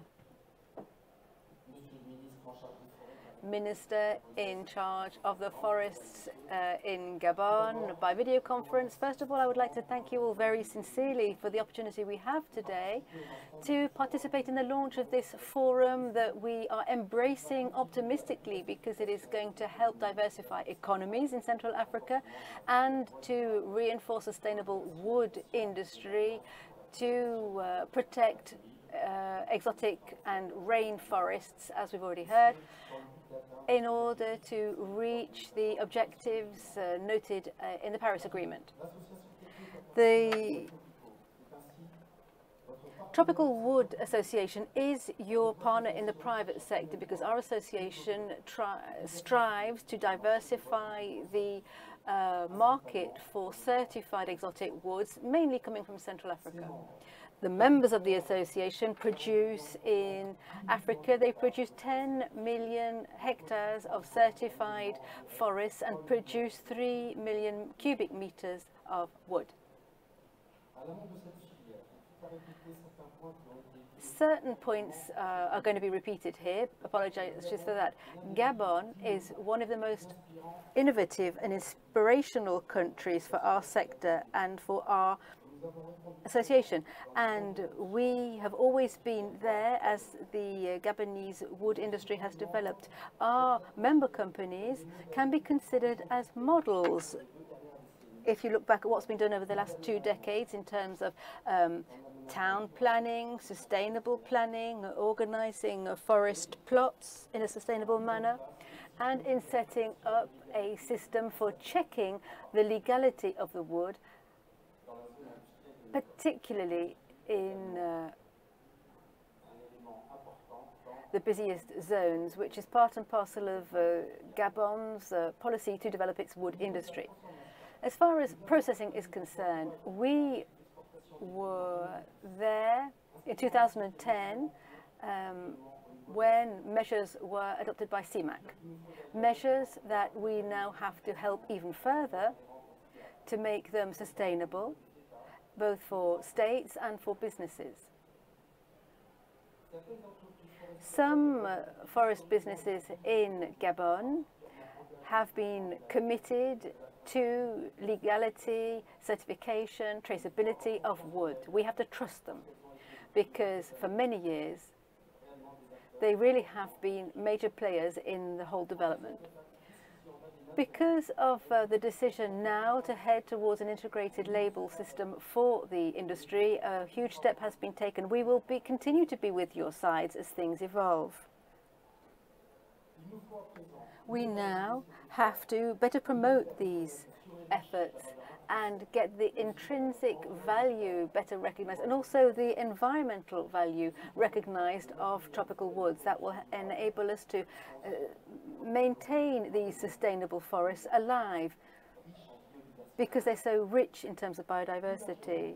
On a broader scale, and let me remind you, the sustainable wood industry is a model uh, against deforestation. It is the only industry, insofar as it is, in, is, is labeled, to guarantee perfect traceability from forest to final consumer and to heighten awareness and to enhance the living condi conditions of those people whose livelihoods are dependent upon the forest.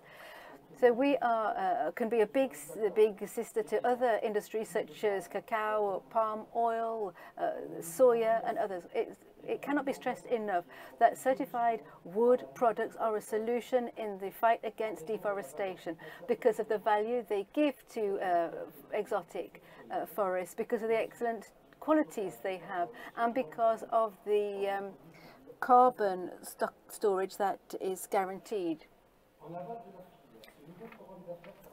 This new business forum will also make it possible to make progress in, in other areas because this business forum is so important. It has to reach its uh, objectives and we have many ideas to ensure that everything works. As far as the European Union wood regulations are concerned, we need better certification recognition to ensure, to encourage the trade of certified legal wood. As far as communication about uh, sustainable management uh, labels are concerned, we need to uh, point out how important they are to combat the de degradation of forests. As far as public procurement is concerned, with a French charter, which is very encouraging, we need to remove certain um, hurdles such as the uh, Olympic Games 2024, an organisation which is boycotting uh, exotic woods at a time when the markets have to take into account those efforts being made by the producing countries. Still talking about markets, we have to relentlessly continue to diversify the types of trees that are being used. As far as payment for environmental services, we have to make it easier to set them up if business models are to survive. And on this subject, in concrete terms, I'm going to uh, echo Lee White's words, hand in hand is the way that we will solve these very complex issues. So as far as uh, players from Asia are concerned, although Europe buys uh, processed wood and uh, the, China, the, the Asiatics are working three quarters of the Gabon's at forest, we now all have to sit around the table and we have to make this sustainable value chain operationable by being very pragmatic. Obviously, This final point is key. Combating illegal wood must be an ongoing process and we have to put up the necessary resources. Illegal wood undermines the image of the legal wood providers and it also constitutes unfair competition. Thank you very much for listening to me.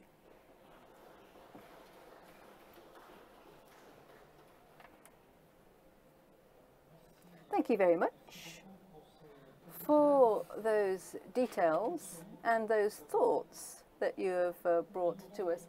We have a few minutes remaining, in fact, very, very few minutes. We've got six minutes remaining. In the room, are there any questions? I can see some hands being raised. We do have a microphone, so kindly wait for the microphone before you voice your question.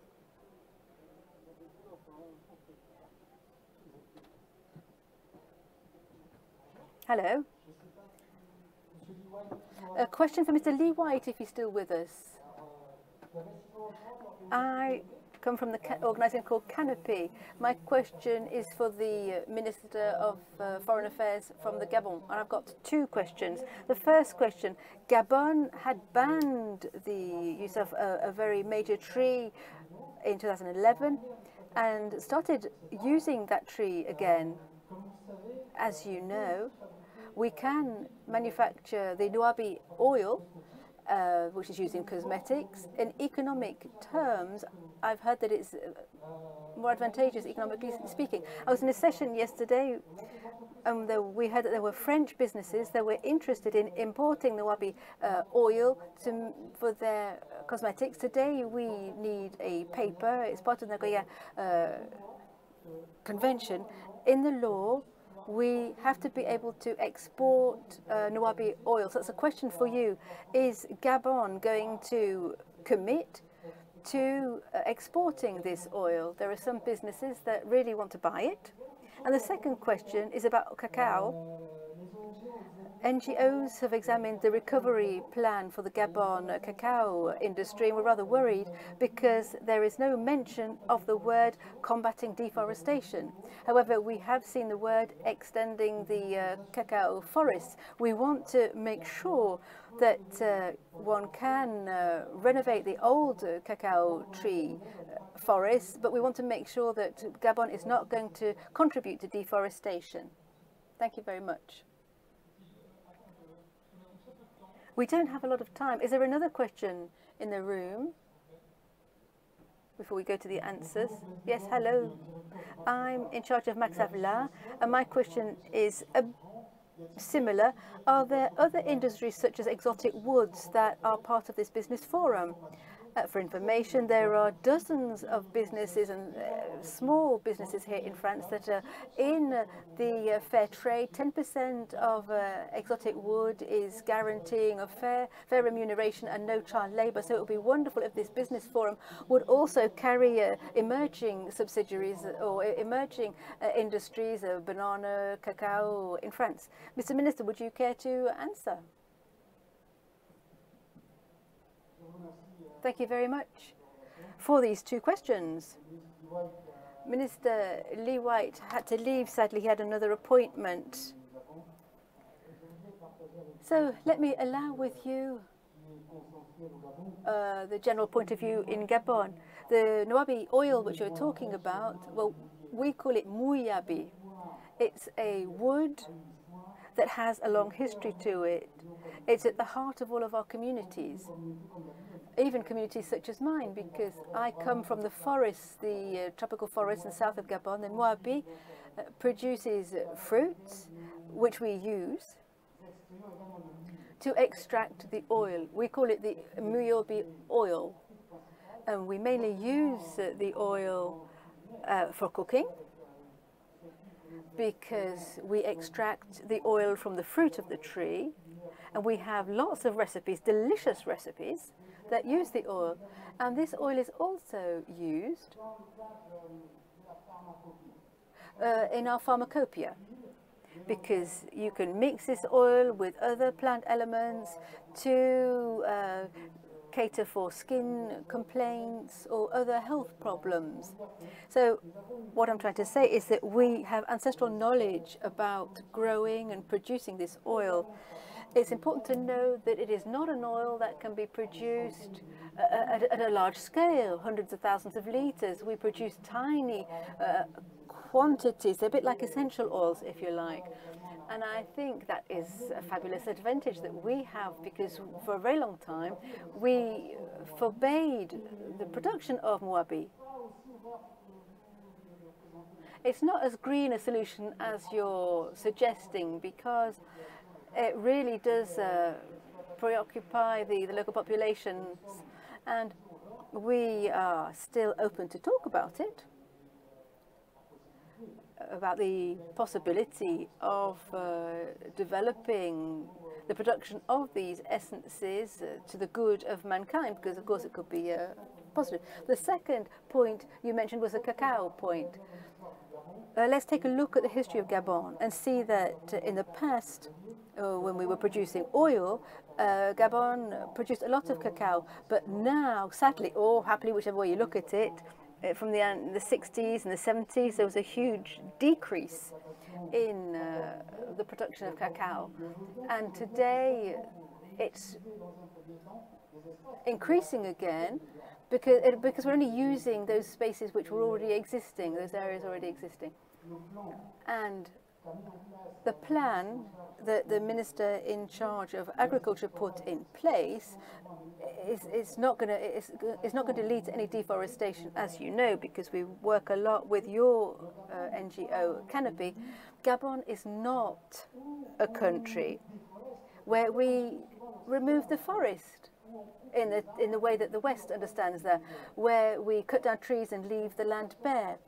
Uh, in Gabon, we work with the forest, we work with the land. We have all kinds of laws and regulations um, which ensure that we conserve all of the ecosystem values in our forests. So we are sustainable in our approach. Thank you.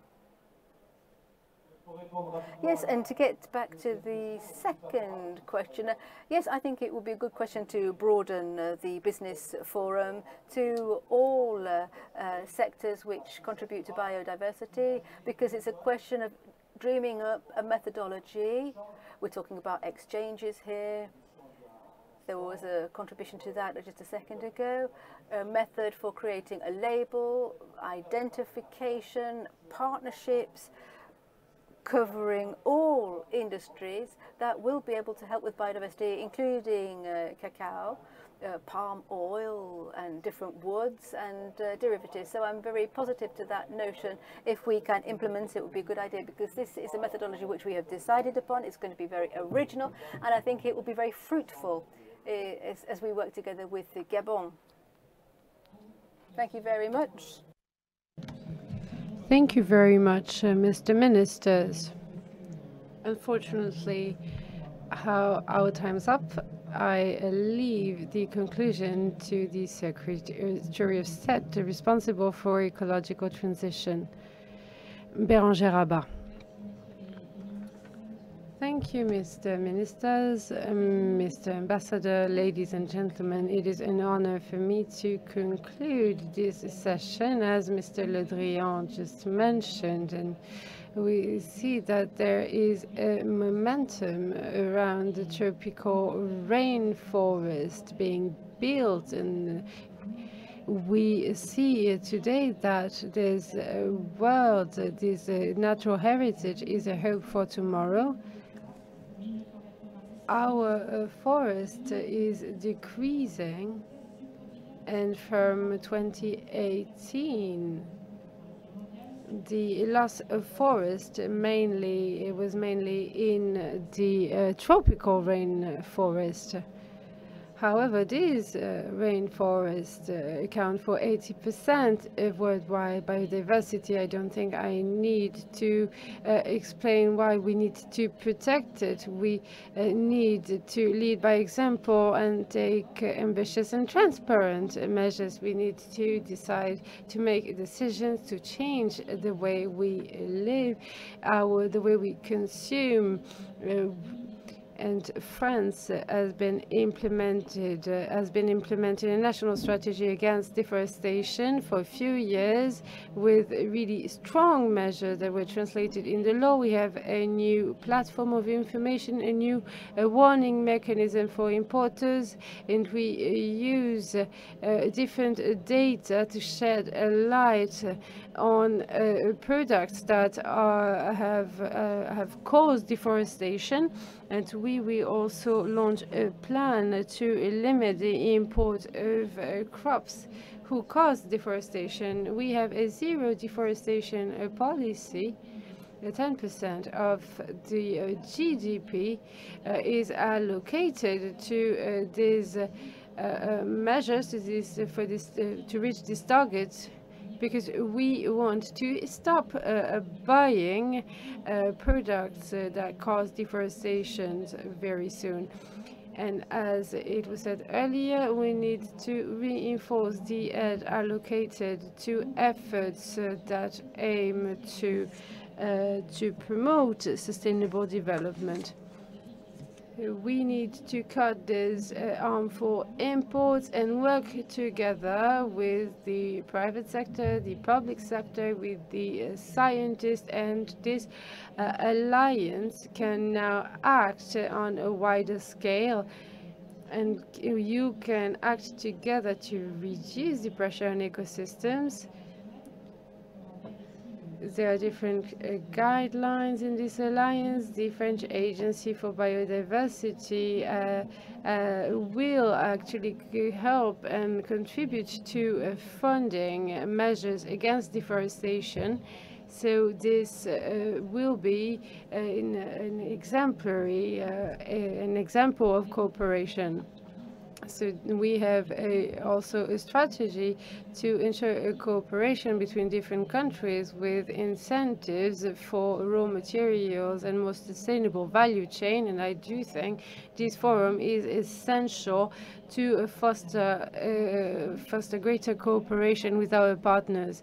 So congratulations for this islands alliance, who is at the heart of the international political agenda, and that's a great achievement. And as you can see, uh, there is applause around us. There are many different uh, branches, many different sectors that uh, are involved. We mentioned wood, but we uh, want to extend our actions to other uh, sectors, uh, for example, to soya. And very soon we uh, plan to work in the sector of cocoa. We are really uh, excited to find out what we will do in different sectors. So you rest assured that we are committed to uh, this uh, to this uh, alliance, to this goal. And while the France holds the presidency of the Council of the European Union, this goal will remain a priority. Thanks again for being here, for showing interest, and for showing uh, your commitment to our fight against these uh, harmful imports. Thank you. Good evening, ladies and gentlemen. Thank you for being here. I'm delighted to see so many of you, although uh, although it, it, it, can be quite difficult, quite uncomfortable to be here because of the uh, new restriction measures. So, Mr. Uh, directors, Madam Ministers, Mr. Ministers, dear friends, uh, today we want to take stock of an old project, the Great Green Wall. This project has evolved, there have been developments because the accelerator of the Great Green Wall was launched during the One Planet Summit that took place in last January in Paris. This session will be organized, it will be divided in three sections. First of all, we will talk about the uh, political commitments that were made at the national and international level. Secondly, we will talk about the, commitment of the uh, civil society actors who uh, are really active in these initiatives, uh, we will also talk about the scientific community because in the end we need them to assess the project. Finally, we will talk and hear our financing uh, partners, our financing uh, backers, and we are looking forward to hearing them since the announcement was made in Paris. Without further ado, uh, leave the floor to the Minister of the Environment of Mauritania, the current president of the Pan-African Agency of the Great Green Wall. Madam Minister, please.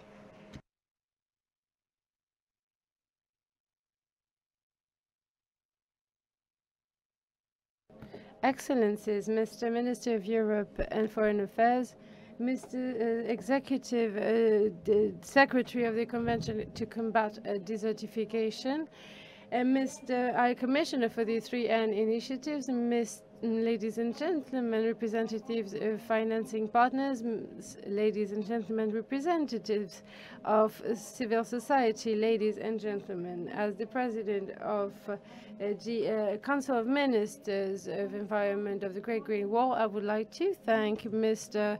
Jean-Louis Le Drian, the Minister of European Foreign Affairs, as well as Mr. Ibrahim you're the executive secretary of the Convention against to, to combat desertification for the uh, efforts and for organizing this event.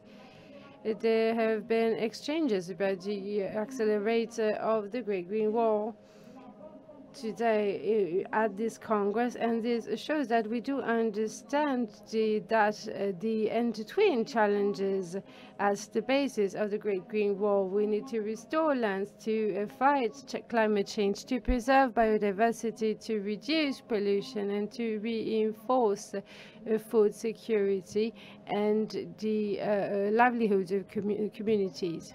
Let me remind you that this project, the Great Green Wall Project, is in line with the principle and the objectives of the Agenda 2030 and of the Paris Agreement. It aims to uh, contribute to the uh, sustainable development of rural areas in the Sahel region by uh, uh through a multi-sectorial and inclusive approach. This program aims to restore 100 million hectares of degraded lands and to create uh, many uh, green jobs by 2030. During the uh, meeting of the Ministers of Environment of the Great Green Wall, who, which took place last July, member states have uh, recognized that we need to intensify the uh, measures taken for the Great Green Wall to uh, for the economic recovery and improve the lives of rural communities. They also stressed the obstacles that have limited investments until now. They also stressed that there's a lack of investment and limited technical capacities in local, national, uh, and international structures the uh, Council of Ministers of Great Green Wall has adopted an investment plan on 10 years between 2021 and 2030. It is an ambitious plan, but it uh, is comparable to the challenges ahead as the uh, climate crisis is accelerating and the pandemics is still here. And we have seen uh, synergies between this investment plan and the different levels of the accelerator of the Great Green Wall. However, we do uh, we still do not know how we we will ensure access to announced uh, funding. We want uh, we want to ensure it is done, and we also want to simplify the access criteria to funding with reasonable deadlines. Those are the last recommendations put forward by the Council of Ministers. And we were asked, the Great Green Wall was asked to organize along the UN Convention Against Desertification, a, a virtual dialogue, high-level dialogue between mm, state member states and financial and technical partners to improve our financing approaches and to adjust them with the uh, member states' expectations. So that's what we want to do uh, today. It is uh, crucial that our financial mechanisms are based around national priorities. We just call on international organizations who have accepted to coordinate their action around the Great Green Wall to work in partnership, in close partnership with the Pan-African Agency of the Great Green Wall and national organizations. Indeed, we want to uh, define the uh, best funding modalities we can have and to adjust them to local needs the actors of the Great Green Wall are established in the majority of uh, member states, they have to uh, steer projects in close collaboration with relevant uh, sectors and local actors, above all collectivities, businesses, and civil society organizations. To conclude, let me stress that this dialogue, which gathers political actors, financial institutions, and civil society, is uh, for the uh, Sahel countries who still have a debt uh, that in this very difficult context, and we uh, want to uh, uh, funding that will take the specific vulnerabilities of member states. Thank you for your attention.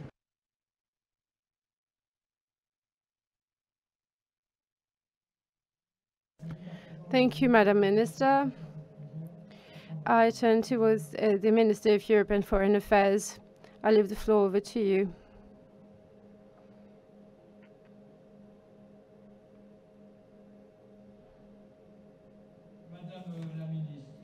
Madam Minister of Environment and Sustainable Development of Mauritania, dear Mariam, Mr. Executive Secretary, Mr. High Commissioner, dear friends,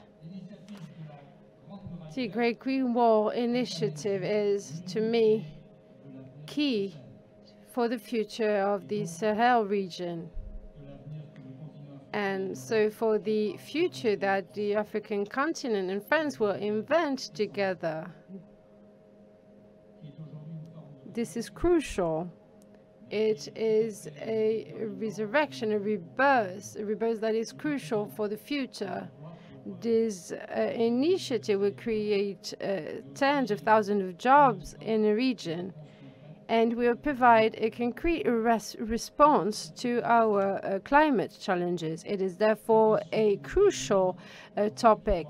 And uh, today uh, we are here and we are here to talk about its implementation. It is an urgent uh, matter. Indeed, we know that the pandemic has aggravated the uh, uh, food uh, food crisis, has exacerbated and aggravated the local vulnerabilities in the region as well as elsewhere, and in the region where France as well as uh, its uh, European partners are still uh, helping fight terrorists. So this initiative is a, a source of hope for the Sahel, and we hope that our common responsibility will become a reality very soon. And today I would like to express that uh, my uh, will to act along with you, the One Planet Summit, uh, relaunched the Great Green Wall because we uh, started the Great Accelerator that already has mobilized 16 billion euros. And now uh, we must make a difference on the ground and rest assured that President Macron uh, closely follows uh, progress, progresses on this matter. Madam uh, Minister, you can count on France for doing its part in this collective effort and in close collaboration with the Secretariat of the Convention to Combat Desertification and the Pan-African Agency of the Great Green Wall, we give our political technical and financial support to this initiative. And that's why France has decided to uh, fund a project that is in line with this uh, patchworks of uh, rural development project, a, a, project called the Nexus Emergency Development Peace, and it will be launched uh, soon in Niger. Mr. High Commissioner, dear Ali Bety, I am delighted to say that this project is also in line with your program, the Nigerians Feed People from Niger, and you will talk about it later. France will also uh, be at the uh, next uh, Food System Summit, the France-Africa Summit, and uh, another summit as they will happen under our uh, presidency of the Council of the Union, of the European Union, and we will use this opportunity to reinforce international mobilization for agroecology in the Sahel. As I said, the One Planet Summit in January has uh, gathered 6 billion euros. The uh, the Pan-African uh, Agency for the Great Green Wall had uh, called for $10 billion in the next five years and uh, $32 billion by 2030. So we need to uh, act and to move forward. So, um, ladies and gentlemen, I am here to uh, send you a message, a message that to convey a message. We have you have support, a high level support, and I am here to hear the recommendations put forward by all the actors who act, who want uh, the Green Great Wall. That is our state partners, backers, the representative of the civil society and the research community. We can act together, and together we can succeed. And this initiative is a great way to uh, create synergies between the different partners. Thank you. Thank you, Mr. Minister. Thank you for being here. I uh, know that this project is really important to you, and thank you very much. And now I leave the floor to the Executive Secretary of the UN Convention to Combat Desertification, Ibrahim Thiaw. He will talk about the accelerator of this great green wall. Mr. Minister, Madam Minister, Mi Mr. Commissioner, the Great Green Wall. In January at the One Planet Summit, the world has found a new momentum and the countries of the Sahel region have have welcomed this new momentum thanks to the leadership of the relevant African countries and of uh, France and its president, President Macron. Six, $16 billion, that's a huge amount of money, but it is not sufficient to uh, to for the uh, priority investment plan validated by ministers in Sahel. That's a good starting point, though. $6 billion for 11 countries on a period of five years from 2021 until 2025. We have identified needs for Sahel and the Sahel needs uh, uh, a few for 24 billion uh, dollars a year. We need to restore 8.2 billion hectares per year uh, by 2030 if we want to reach our final goal. This is an environmental project, but not only and Mr. Minister uh, does understand that. Mrs. Uh, President of the Council of Ministers has uh, mentioned it along with her uh, colleagues uh, here.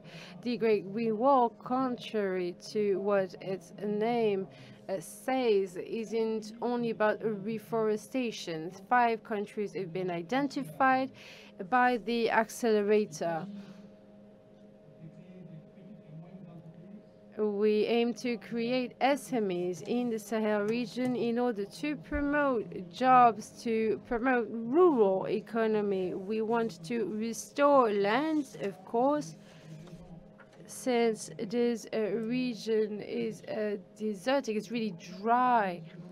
We need renewable energies for the for light, but also for development to transform agriculture, to reduce agricultural losses, and to create jobs in the agricultural sector. We need an effective governance to manage everything. And the fifth pillar is the uh, reinforcing our capacities. We are delighted to see that up to 48% of the funding that were announced in January are already been uh, earmarked for the uh, period for the 2020-2025 periods. They were earmarked but not spent, and I'll be really happy when I see them being transferred to local communities. That is to uh, population, to locals, those who are responsible for the implementation. I'll be happy to see young girls and young boys doing better in the region. I would like to thank all the institutions who have backed us, who have announced their support, the African ba Development Bank, the European Development Bank, the World Bank, the European Commission, the French Agency for Development, the International Fund for Agricultural Development, the Green Fund, and the FAO. And those are the uh, international organizations who we back us financially uh, during the first phase. We hope there will be many more funding, and most of we know there is a lot of potential in the private sector. Mr. Minister, you mentioned COP26. That will take place in a few weeks. There will also be the biodiversity uh, uh COP Uh, in next April, but there will also be a conference of the parties about that will take place in May 2022. And we would, would like these events to uh, be opportunities to take stock of the situation along with the international community, the representative of the civil society, and with all the other partners. These events can be an, an opportunity to take stock of our challenges and our opportunities. Thank you. Thank you very much, Mr. Thiaw. Now I would like to invite Ali Bety to step forward to talk about the 3N initiative because they haven't been waiting for the uh, Great Green Wall project to take off to uh, inspire the rest of us.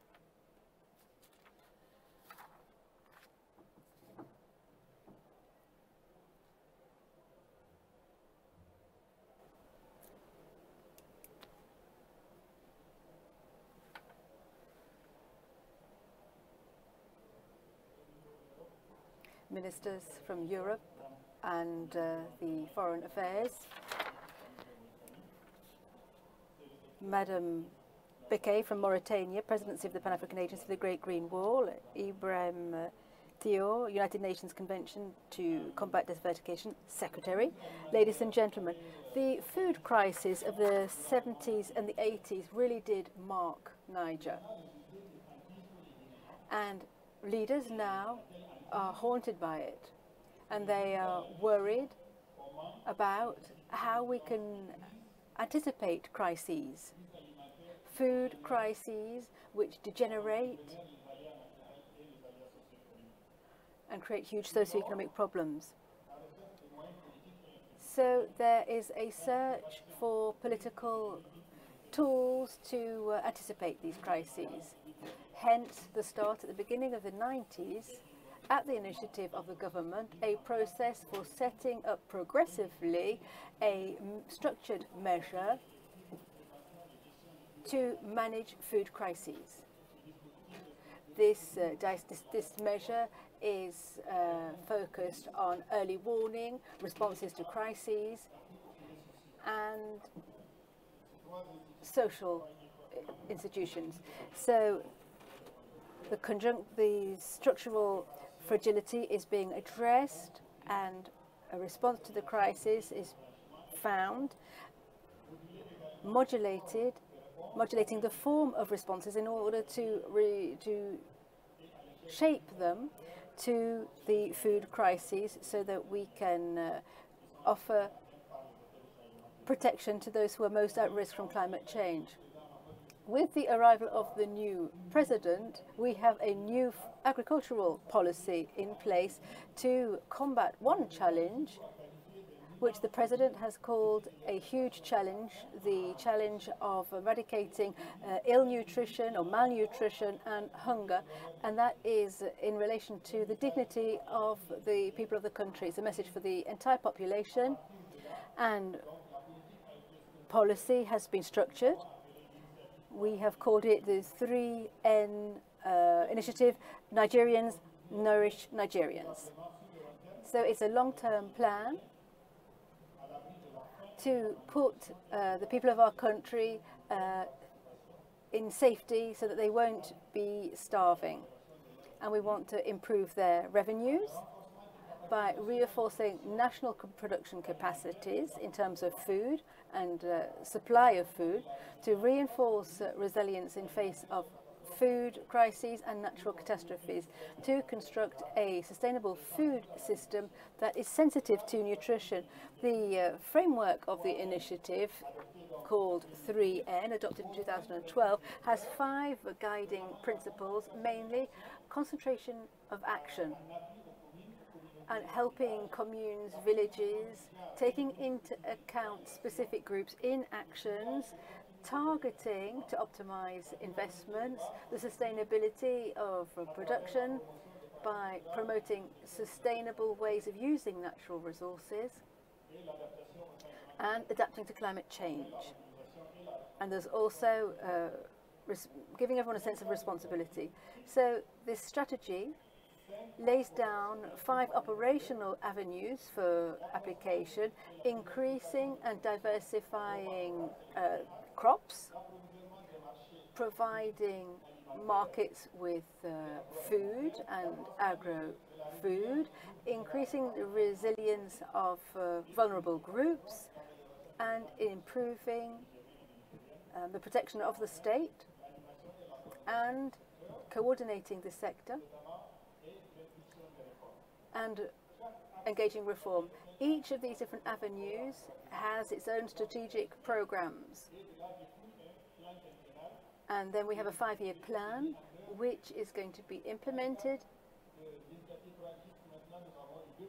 We've had so far had two action plans, one for 2011 to 2015, and then one from 2016 to 2020, which is just finished. And now the 12 strategic programs are going to be applied by the different ministries participating in this 3N initiative and the High Com uh, Commission uh, that manages the 3N program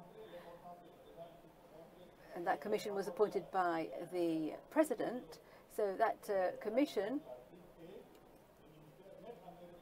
will implement the program and the action plans. There's a budget for everything. And uh, we uh, report to the president and to all of the uh, ministers about progress, progress of the uh, implementation. So there, we have a system of assessment has been put in place to identify progress which has been made and which remains to be made with uh, objectives so we can analyze how we're moving forward.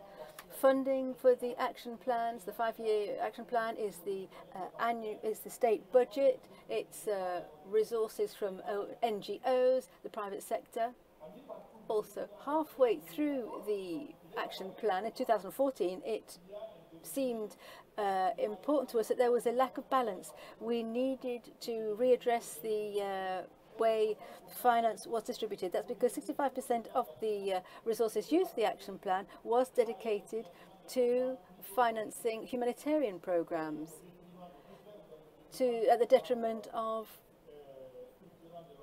uh, longer term plans and sometimes without any link to the humanitarian needs in the country. So uh, uh, Plan B was devised and the government decided to put up their acceleration plan for the 3N initiative to rebalance the funding to and, and address uh, those programs which were underfinanced. One of them is controlling water for our agricultural uh, use. But we need to do what we can for the sea and for uh, forestry and uh, fishing and everything. So we have to control how we use our water. Secondly, restoring uh, land and combating uh, erosion by wind. And the third program is services to produ producers. At three of our program focuses on uh, food safety and there's uh, the summit of Istanbul um, placed uh, this issue at the very center of the debate. The idea is to enhance the efficiency of humanitarian work and uh, tie that in with development work to identify national operational frameworks to reinforce local capacity to encourage peace. As in 2018, uh, we have been uh, speeding up the Nexus plan, setting up uh, high-level tripartite committees, including the different uh, players, and also we've been working in the different regions which are impacted by vulnerability, particularly in the east, which are victims of uh, Boko Haram, and in the west, victims of terrorism. To conclude, because I must uh, stop here, so there are many efforts, efforts in Niger to focus on sustainable food security. For, we have a we have several several plans in place, and we have uh, support from the AFD which uh, has launched a project which is just being started. And this pilot project will ensure that the Nexus is operational in Niger. There has been a lot. There have been a lot of humanitarian crises linked to climate change and civil insecurity, and there have been displacement of people, and there have been new pandemics such as COVID. This pilot uh, project will considerably enhance coordination of uh, interventions in zones in difficulties, and that ties up with all of the Nexus uh, actions. And it will constitute an accelerator to make the Nexus program operational in Niger. The second uh, initiative is a problem to is, a, is to contribute to the Great Green Wall, and I think this program, which is going to be linked to the Green Wall is that of food security. And that is being rolled out in the east of uh, Niger. And since 2006, we have been speeding up the AFD work on the Great Green Wall. So this is a major program, and it means that we have been able to protect strategic zones for all kinds of agriculture. It's a program which has increased and diversified uh, pro uh, agricultural production and has also made it possible to set up uh, systems to ward off uh, conflicts and uh, other crises. The level of resilience of households, communities and ecosystems are being enhanced. So it's a great success story, this program, and that is why we are happy that this program will continue to conclude. Since this uh, 3N policy has been put in place 10 years ago, with its action plans, the government has spent money, as have the partners, to fund the sector, and the goal which we were chasing to uh, get rid of uh, drought and famine, well, that has been achieved, and the government of Niger uh, has received congratulations from all the main uh, organizations. Thank you very much.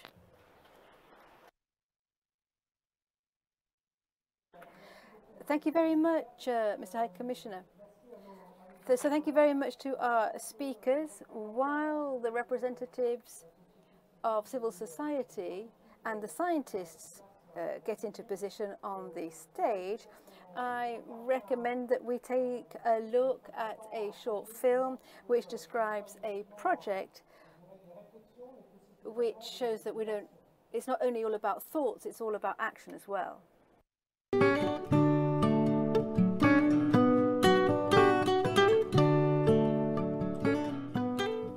En zone aride, la dégradation des terres est un problème majeur, accentué par les difficultés de gestion des espaces et des ressources naturelles. Usagers multiples de ces terres agricoles et ou pastorales, conflits autour de l'utilisation des ressources, difficultés de dialogue entre les différents acteurs. Autant de challenges à surmonter pour les collectivités dans la gestion de leur territoire. Au Sénégal, dans la zone agro-silvopastorale du Ferlo, les collectivités locales ont dû trouver des solutions pour améliorer et faciliter l'administration de leur territoire. Ainsi, la mise en place d'unités pastorales s'est révélée être une voie pertinente pour faciliter la planification territoriale. C'est ainsi le cas sur la commune de Tessékéré. Les populations s'organisent dans les UP, secteur par secteur, pour euh, défendre l'environnement. L'UP est importante. C'est bon pour l'environnement, c'est bon pour l'éleveur et l'agriculteur. On s'organise, on choisit des hommes pour protéger la nature. Chacun a sa responsabilité dans l'UP. Et pour l'instant, cela fonctionne très bien.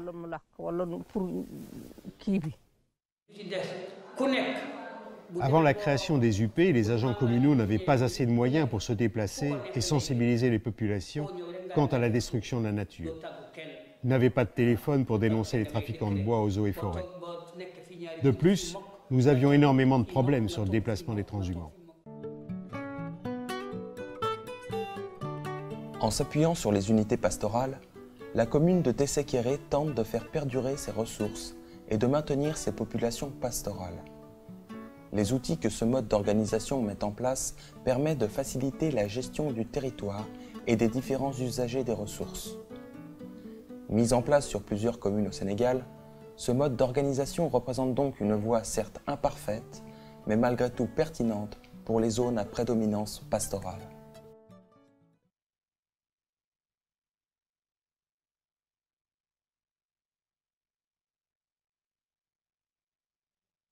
Very good. Thank you very much.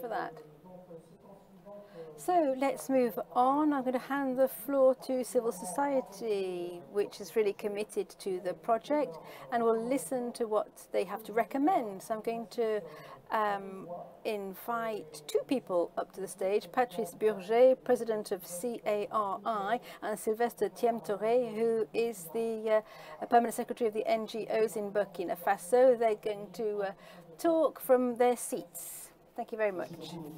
Thank you very much, everybody. Ladies and gentlemen, hello. Ministers, I say hi to you as well, dear friends. It's great to hand the floor to civil society in this type of event because a lot of our organizations are, have been involved for a very long time in the question of uh, combating the degradation of uh, the land. This uh, Great Green Wall is a wonderful initiative for us in its principle, its vision, its geographical uh, scope, its territorial and trans-border ambitions. It is unequaled in terms of scope. There is no such uh, business, uh, no such project of such scope, I would like to underline here the added value of civil society organisations. They've been organised to uh, uh, deploy these uh, projects. They are already uh, uh, at, at, the front fighting. One example is the Sahel Desertification Network. It's called ReSaD. It's got four national platforms in Burkina, Mali, Niger, and in France. And they total 400 organizations that have been supported since 2010 by the AFD and have been involved since the very beginning in this initiative for the Great Green Wall. In 2012 in Ouagadougou and then in Osso in uh, Niger, Niger, organizing uh, meetings, we realized that nobody was aware about this Great Green Wall in 2012. And then there were international uh, summits in 2017 and 2018, all about desertive actions in Strasbourg and Ouagadougou. And then 2017 and 2018, we've had uh, some projects such as reducing the gaps in the uh, Great Green Wall with the U with the IUCN or the uh, big uh, project about rivers.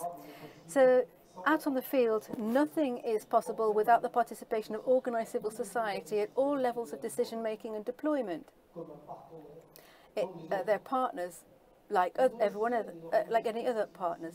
Uh, civil society is involved in the smallest chain, uh, link in the chain of territories, and uh, they uh, people trust them. They experiment, develop, adapt in a participative manner. They are pioneers as, as, has been proved on many, many occasions in Burkina and Senegal.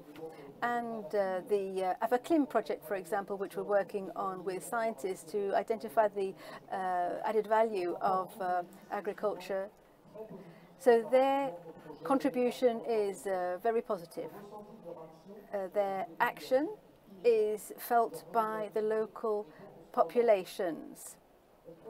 They work hand in hand with land workers to carry out a whole load of small local actions, and they have expertise in the different territories, uh, which can be uh, included in larger scale projects. So, dear partners, the Great Green Wall is uh, is starting now, and it has to respond to high uh, challenges on the edges of the Sahara, and all of them represent many, many threats in a region that is already under tension, and uh, we it, it, could become unlivable unless we do something about it. But let's succeeding this big wall is not an imperative for our morals it is an imperative, in short. It's a wonderful occasion to give concrete form to the strategic uh, document which France drew up and we contributed to. So we also have to ensure that there's coherency with other public policies so that we are not uh, undoing with our left hand what we are doing with our right hand. So that must all be in the past. The metaphor of the Great Green Wall with figures and uh, hundreds of thousands of, hundreds of millions of hectares and dollars and people, it's all very powerful. And it's driving a few people to be rather poetic about a, a new marvel in the world but for others it can be a bit confusing. Some people might imagine it's a big uh, barrier made up of trees or restoring just the land, but it's much more than that. It doesn't deserve too much honor or too much indignity. It needs more science. The rumor that is already being uh, going around about a lack of uh, clarity, of insufficient results, of fragmentation, dispersion, of la lacking in uh, governance and strategic leadership, competition between different players, is generating terrible messages in the media. The strength of an initiative is the image which it can convey to one and all. The One Planet Summit and its accelerator offer a new, unique opportunity, but it also contains a an injunction to come up with a critical inventory of uh, the places and the people if we have a second lease of life.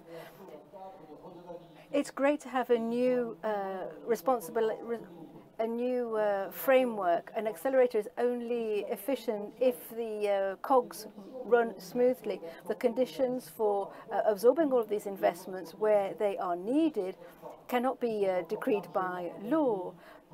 We need to gather together the 16 billion that have been promised. We are determined to do it. And like President Macron, we will monitor those commitments. Finally, the accelerator has to focus on something very fundamental. It has to really mobilize the populations. The big, the Great Green Wall will exist when that great drum out in the bush from can be heard from Dakar to Djibouti, and uh, tens of ethnic groups will the Wolofs, the Tamasheks, the Pearl, the Mossi, the Dogons, the Sonikes, the Haratines and the Moros, the Afars and the Tigres, the Dingos and the Igbo, when they are all singing from the same song sheet. In terms of developing the territories, geography is not only physical, economic or monetary, it is also human. We are together. Thank you.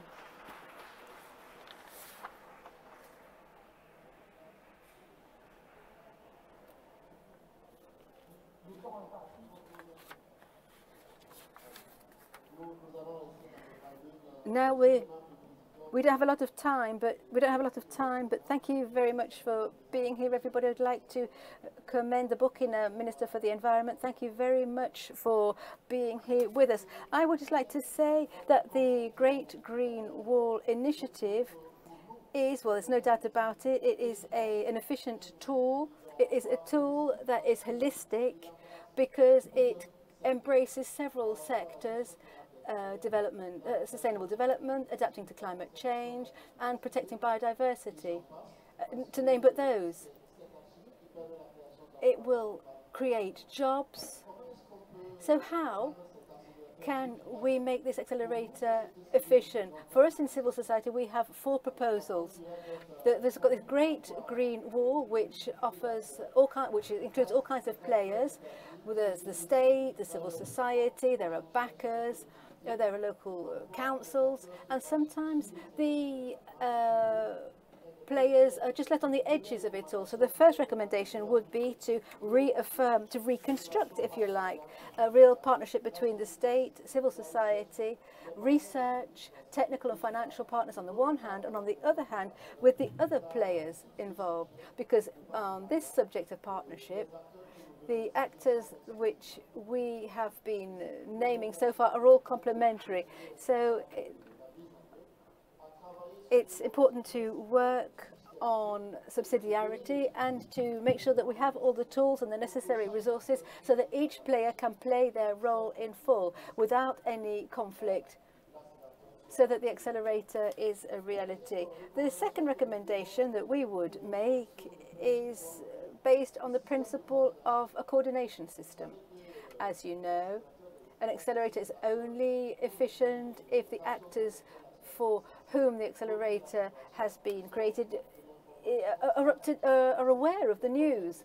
They know how important the initiative is. They know on which doors to knock to make sure that uh, uh, that everything is efficient and so that uh, the mechanisms which are known and which are open and which enable, which makes the, the, sure that everyone can access uh, what they need to get access to.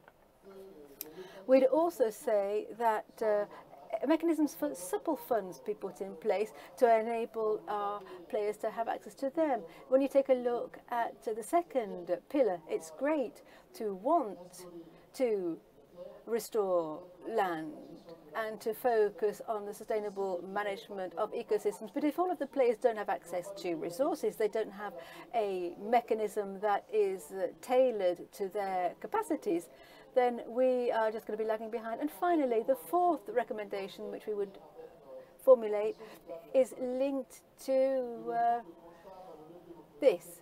We know that a lot of uh, uh, a lot of initiatives are nationwide and it's important to contribute all that all players in the land can contribute. So we have to have an accelerator that recognizes the local collectivities and they have to be autonomous. They have to be able to monitor what's going on and identify what um, progress is being made. And we've got tools there when we uh, present uh, the forum of, of, actions. We've got um, uh, different tools that we always use. These are levers which we can use to make sure that the accelerator is efficient. Thank you very much.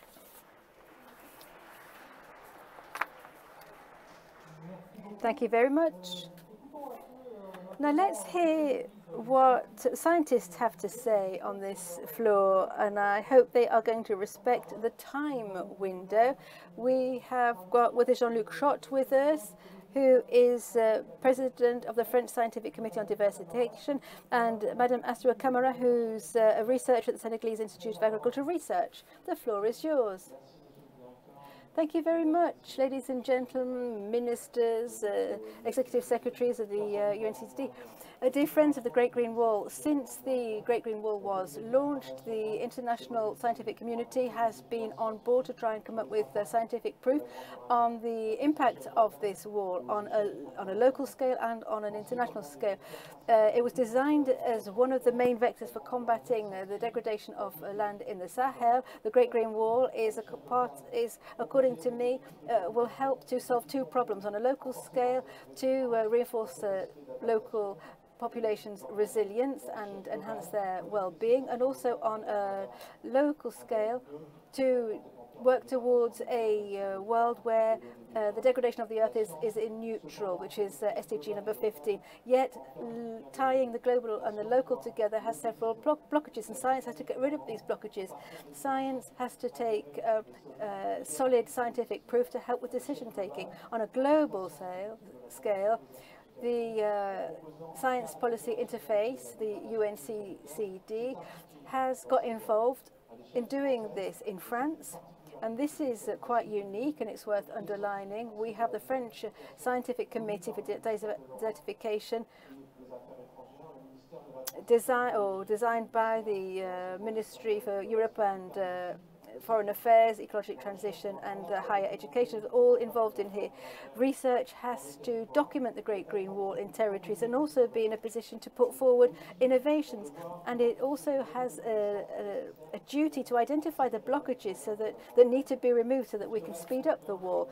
And to, according to the scientific community, it means that we have to enhance interdisciplinarity.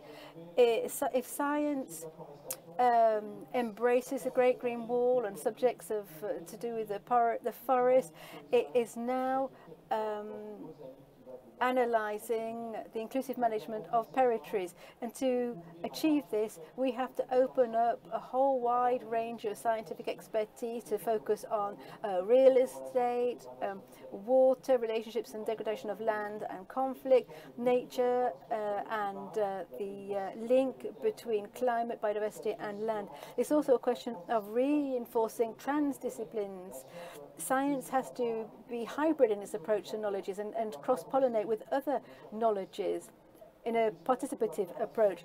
So what must science do to connect the global and the local? It seems to me that science has to be in a position to put its knowledge uh, and make it available for the production of indicators. The politics and science interface uh, has also uh, put forward several indicators which have been accepted. The carbon stock stored in the ground, the curvature of the ground, and the primary production. So these are all indicators. They have to in, they have to document uh, uh all impacts. However, we cannot help with bring out this Great Green Wall if we are not in a capacity to monitor and assess compromises and synergies that the wall has on food security and human well-being, i.e. poverty, biodiversity, climate, resources in water and the quality of the ground we will not be able to uh, proceed if we cannot create a model in time and space of these different compromises and synergies. Action today can have a negative effect in the short term, but it can, in the medium or long term, turn out to be a very efficient solution for the pollution, the populations.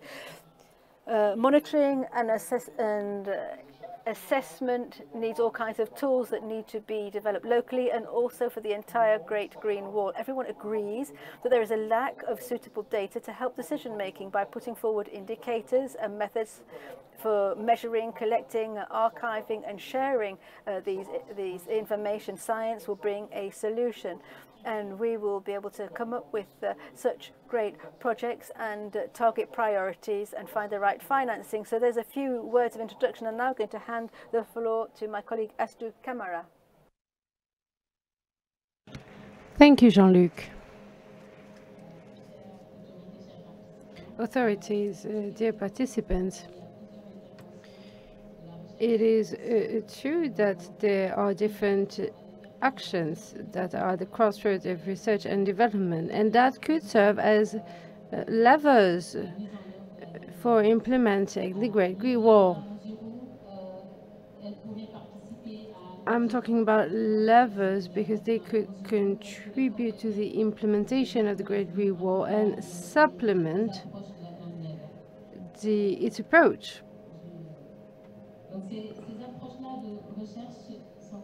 the research approaches are uh, complementary on the geographical point of view.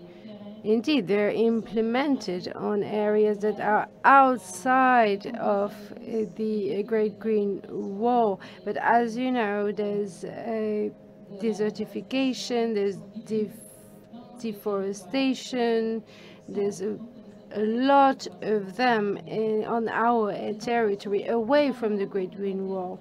And these approaches are also complementary on, when it comes to methodology because these approaches um, focus on uh, guidance for farmers, providing guidance to farmers so that they can develop sustainable production techniques that will help them face challenges on the field.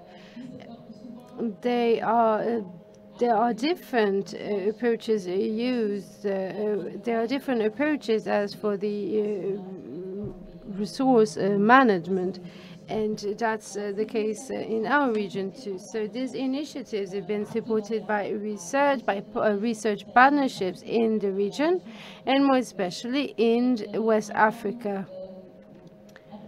These initiatives want to respond to challenges in food in food insecurity and the degradation of lands and this, this research is interdisciplinary as Jean-Luc said, they are opened onto other sectors and they are also transversal. I would like to give you three examples of a project who are or research who is underway and that will give you an example of the uh, uh action and action and, and research measures we are uh, moving forward. So here's the first uh, example. It is a project called Fair Sahel and aims to promote agroecology in the region. It, uh, this project is active at different levels uh, and this is in line with the different challenges we want to respond to. So the first uh, level is the family uh, farms our people work with uh, farmers in their own parcels and they try and improve their techniques in a sustainable way. This project is also carried out by collectivities. Uh, so uh, the collectivities can identify uh, sources of change levers who uh, will help them invert trends. This is an innovative uh, project because it's also active at the national and regional level. There are four countries involved, among them Burkina Faso and Senegal. And in these four countries, uh, we uh, want to involve political actors and we want to build a public policy that are uh, based on the result uh, we obtain at the local level. I'd like to uh, talk about another project which is uh, similar because it is uh, financed by the same initiative and it, uh, uh, it, it fits the One Health approach. And on this second project, we uh, aim to reach a territorial approach. So we are looking for a lever for the Great Green Wall and as you can see, this uh, project involved the same uh, partners in the south and in the north, and the same, uh, the same uh, development partners.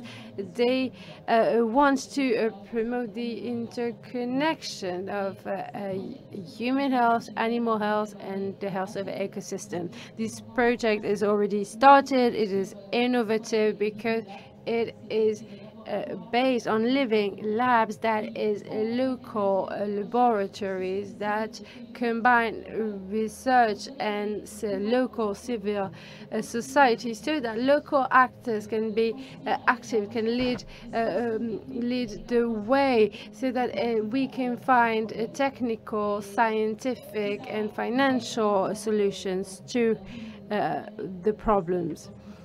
So again, we uh, this is a really transversal approach because we face complex issues, so we need a multifaceted point of view uh, so that we can better respond to challenges and find solutions. So that's the reason uh, why uh, we have many different actors working together. On the geographical point of view, we are close to the Great Green Wall, at least for Senegal. And let me give you a third example of uh, our project. Uh, here, uh, this project is based on uh, carbon capture and on greenhouse gases. This project is uh, really close to the Great Green Wall or similar because this project is uh, implemented on an area across which goes the Great Green Wall. It aims to produce uh, benchmark data from uh, livestock breeding in the region. The IPCC uses specific data to assess the uh, methane that is produced by livestock.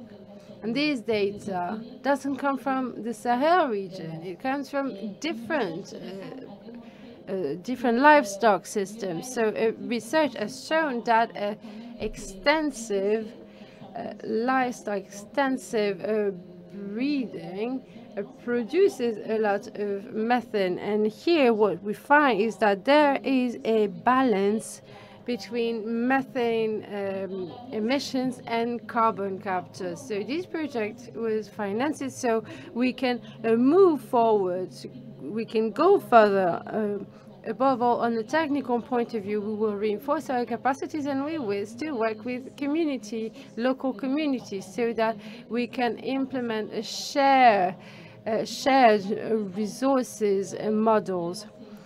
And if I have to tell you something tonight is that I would say that we need new approaches that will take local uh, population needs into account and we need approaches that are inclusive and approaches that they won't perceive as a restriction that won't generate conflict. Thank you. Thank you very much, uh, Mrs. Camara. I know you had much more to say, and that is really difficult to uh, uh to keep things short. And, and now I would like to uh, start the third section of our session. We are talking about uh, means, about uh, funding. Please, dear speakers, I invite you to come over and take your seats.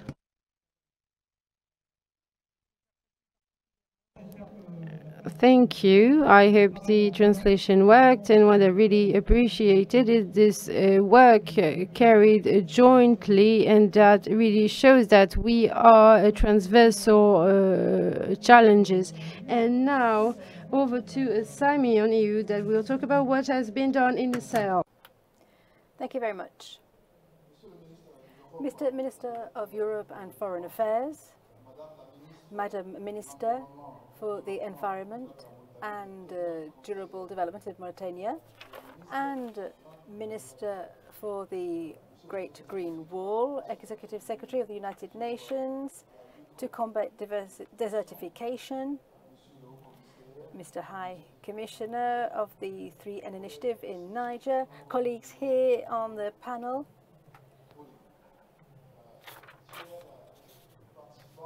Dear participants, We've heard some wonderful things said this afternoon. It's a pleasure and an honor to be here, to be uh, uh, part of this amazing movement. We're bringing back life, we're bringing back nature and hope to the Great Green Wall in Africa from Dakar to Djibouti. Governments and communities have got on board to reaffirm that the future of the earth is also ours. The World Bank wants to be a key partner in this effort. If no action is taken, 17 million people will suffer in the Sahel between now and 2050. 27 million could migrate or to escape from climate change. We have to turn things around. The World Bank has committed to fund 63 projects for $7.5 billion to support this Great Green Wall initiative in eight member states. Since the One Planet Summit in January 2021, the World Bank has come a long way despite the fact that we've had a pandemic to cope with.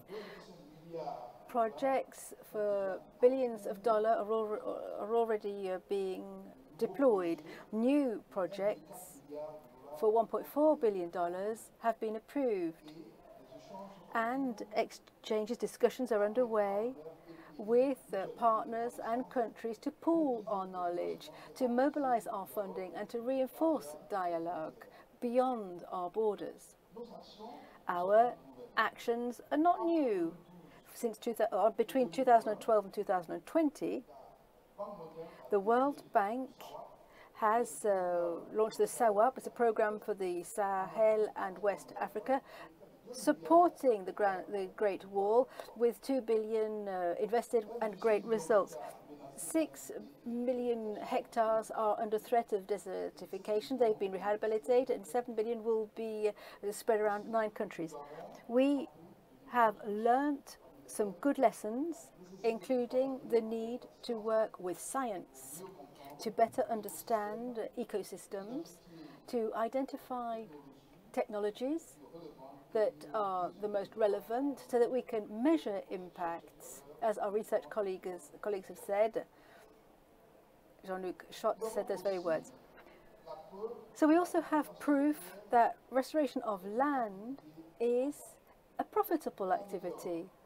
It improves living conditions.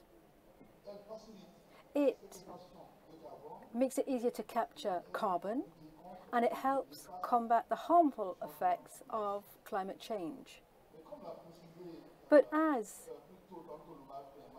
this morning, one of my colleagues said this morning from the, the World Bank, when you uh, take a look at what we've achieved, we have to say that the work is far from over. Nothing is going to be easy given that there's such a huge amount of land involved, given all the funding that is needed, the geographical complexities and the difficulty of putting in place transversal actions. However, we will manage. Allow me to thank France for its support to the World Bank and for the uh, sustainable development of Africa. We are working to promote healthy ecosystems and resilient communities. Dear partners, more than a, more than a curtain of trees, this great green wall is a corridor for growth, opportunity and hope each and every one of us, whether we're financial backers, governance, members of youth, members of so civic society, we are all going to be the stones that make up this great green wall. Thank you for listening. Thank you very much uh, for, to the World Bank. Uh, we hope the audience isn't uh, too tired to have noted the lovely photos that have been on the screen behind me. I'm now going to hand the floor to Remy Rioux. He's Director General of the French Development Agency, a financial partner, and uh, they're going to, uh, he's going to say a few words now. Thank you very much, Philippe. Good evening, everybody. It's an honor for me to be with you, ladies and gentlemen. In Niger, we had the High Commissioner from Niger who was talking about pastoral ground being reduced, that it can be uh, rather insecure, be not very much security in certain patches. So we are delighted to build with you uh, the Bumkasa Pihu uh, project on pastoral lands, which aims to use uh, science of the commons that was uh, mentioned to uh, mark out a thousand square kilometers of pastoral land, 4,000 kilometers of transhumance uh, corridors, 72 water points. And since 2019, 59 million euros have been spent in your country also uh, to give access to basic services. And I think this is very concrete proof. In Burkina Faso, Mr. Minister, the cereal deficit uh, it's chalked up one in every four years. We know how difficult it is for displaced people for your government. It's quite a, a, headache, and we at the AFD are very proud to work with you on a project which is called Secure Agri. It's a project in the east region to develop uh, land restoration to introduce, intro, to introduce innovative uh, agricultural uh, techniques. We're working with the farm workers to come up with answers. So I think this great green wall is that precisely. We got involved in January last year to contribute 600 million euros over the next few years. Our colleagues have already explained and I would like to commend their presence. The Green affirmed so we all know how ambitious we all are, so it's a bit of a signal here. We're going to do more. We're going to launch more product, more projects. But we're here to speed things up and to take stock. And I believe that to go beyond this question of volume and numbers, which of course is at the, the foundations, we are going to have to progress in the coming weeks and months. And it's already been said by previous speakers. We're going to have to improve governance and the steering of these different projects. Madam Minister, your presidency of the uh, agency, the Great Green Wall Agency, is so very important we really do need this uh, effective framework for political um, piloting and to coordinate all of our different institutions. A second point I'd like to underline, it's already been said, of course, different communities, civil society, all players must uh, feel uh, in charge. We have to stand by their sides. We have to listen to them. And in all of these coordination mechanisms, we have to ensure that we integrate the institutions in the Sahel, i.e. civil society institutions, uh, public institutions, but also financial institutions. And uh, uh, I don't like the word, but there are these backers, and I don't really like that word. But they're public development banks, for example, that get involved. But let's not forget our brothers and sisters at local public banks. We're familiar with the uh, National Agricultural Development Bank in Mali. I think that's the only one today that can work in the red zone and uh, can take our funding all the way through to the land workers, to the agriculturists. So with uh, the IFAD, we are going to be having a big uh, meeting in Rome. It's called Financing in Common. And it involves all public development banks. And I really do hope we're going to focus on the Great Green Wall and we can talk about how we can get the African banking institutions involved in our efforts. And the final point, apologies for taking up so much time, and this has always already been said again, there is a big question. Well, I'm a bit frustrated, really. Uh, the AFD has never been more involved in the Sahel, never spent more. There are so many operations going on, um, organised by the French Development Agency, and people don't know. There's no transparency there, there's no visibility. So I think we should all work together. Either that's not true and people do know what we're doing, or we do have a collective problem. Of course, it's never enough given what the problems are, but I think it's important that we get public opinion in, Sah in the Sahel. We want them to know what's happening. Uh, it's, it's, above and beyond my capacity. I, it's not my role, it's a political role. It's for the media if Ibrahim is still, uh, whether this is a question of, uh, of totting things up and uh, publicizing what we're doing in the Sahel. And if we manage to do that, if we can manage all together, then I think the things that we're saying here in Marseille, talking about protecting nature and the well-being of the populations, to develop the economy and society, then we mustn't well, it is possible in the Sahel, and we can demonstrate that really easily. It's always been true that development and nature go hand in hand.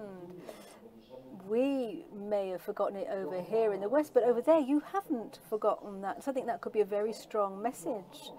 And I think, uh, here's another one of my frustrations, we would perhaps to smash that image that we have of the Sahel.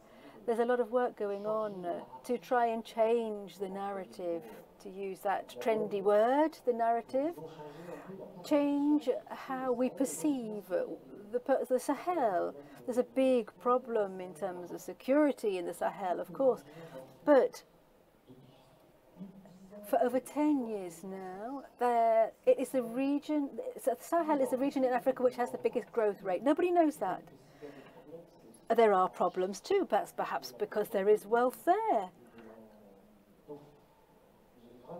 So uh, I'm really calling out to you all. How can we all together We've got this Great Green Wall, which is a very big, beautiful, strong project. How can we use it, for example, to change perceptions?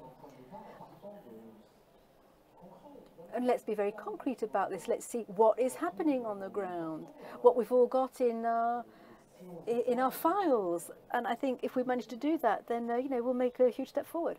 Thank you.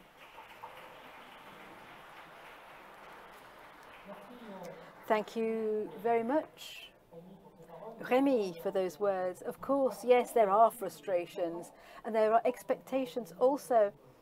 And I think our take home message from this session, which has been a bit longer than was planned, but the, it was important that all of the speakers had a chance to express uh, their messages. That's what the uh, uh, IUCN uh, conference is all about. I think it will motivate everybody and uh, I was at a workshop earlier on, and when I turned up here, the minister was uh, taking was apologising because they had to catch a plane, and so sent me to a workshop on the Great Blue Wall, organised by small island states, saying that it's great what you're doing with your Great Green Wall. We want to have a Great Blue Wall. I didn't dare tell them about all of the difficulties we were encountering. I didn't want to discourage them, but let's move forward, and then once we've got some experience, then we can share our experience with you. But uh, so it, everybody's got their eyes on us. So we had thought we'd do questions and answers, but I think it would be better if we all get a drink. Uh, we're all hot as if we were in the desert. We need a drink. So thank you everyone for being here.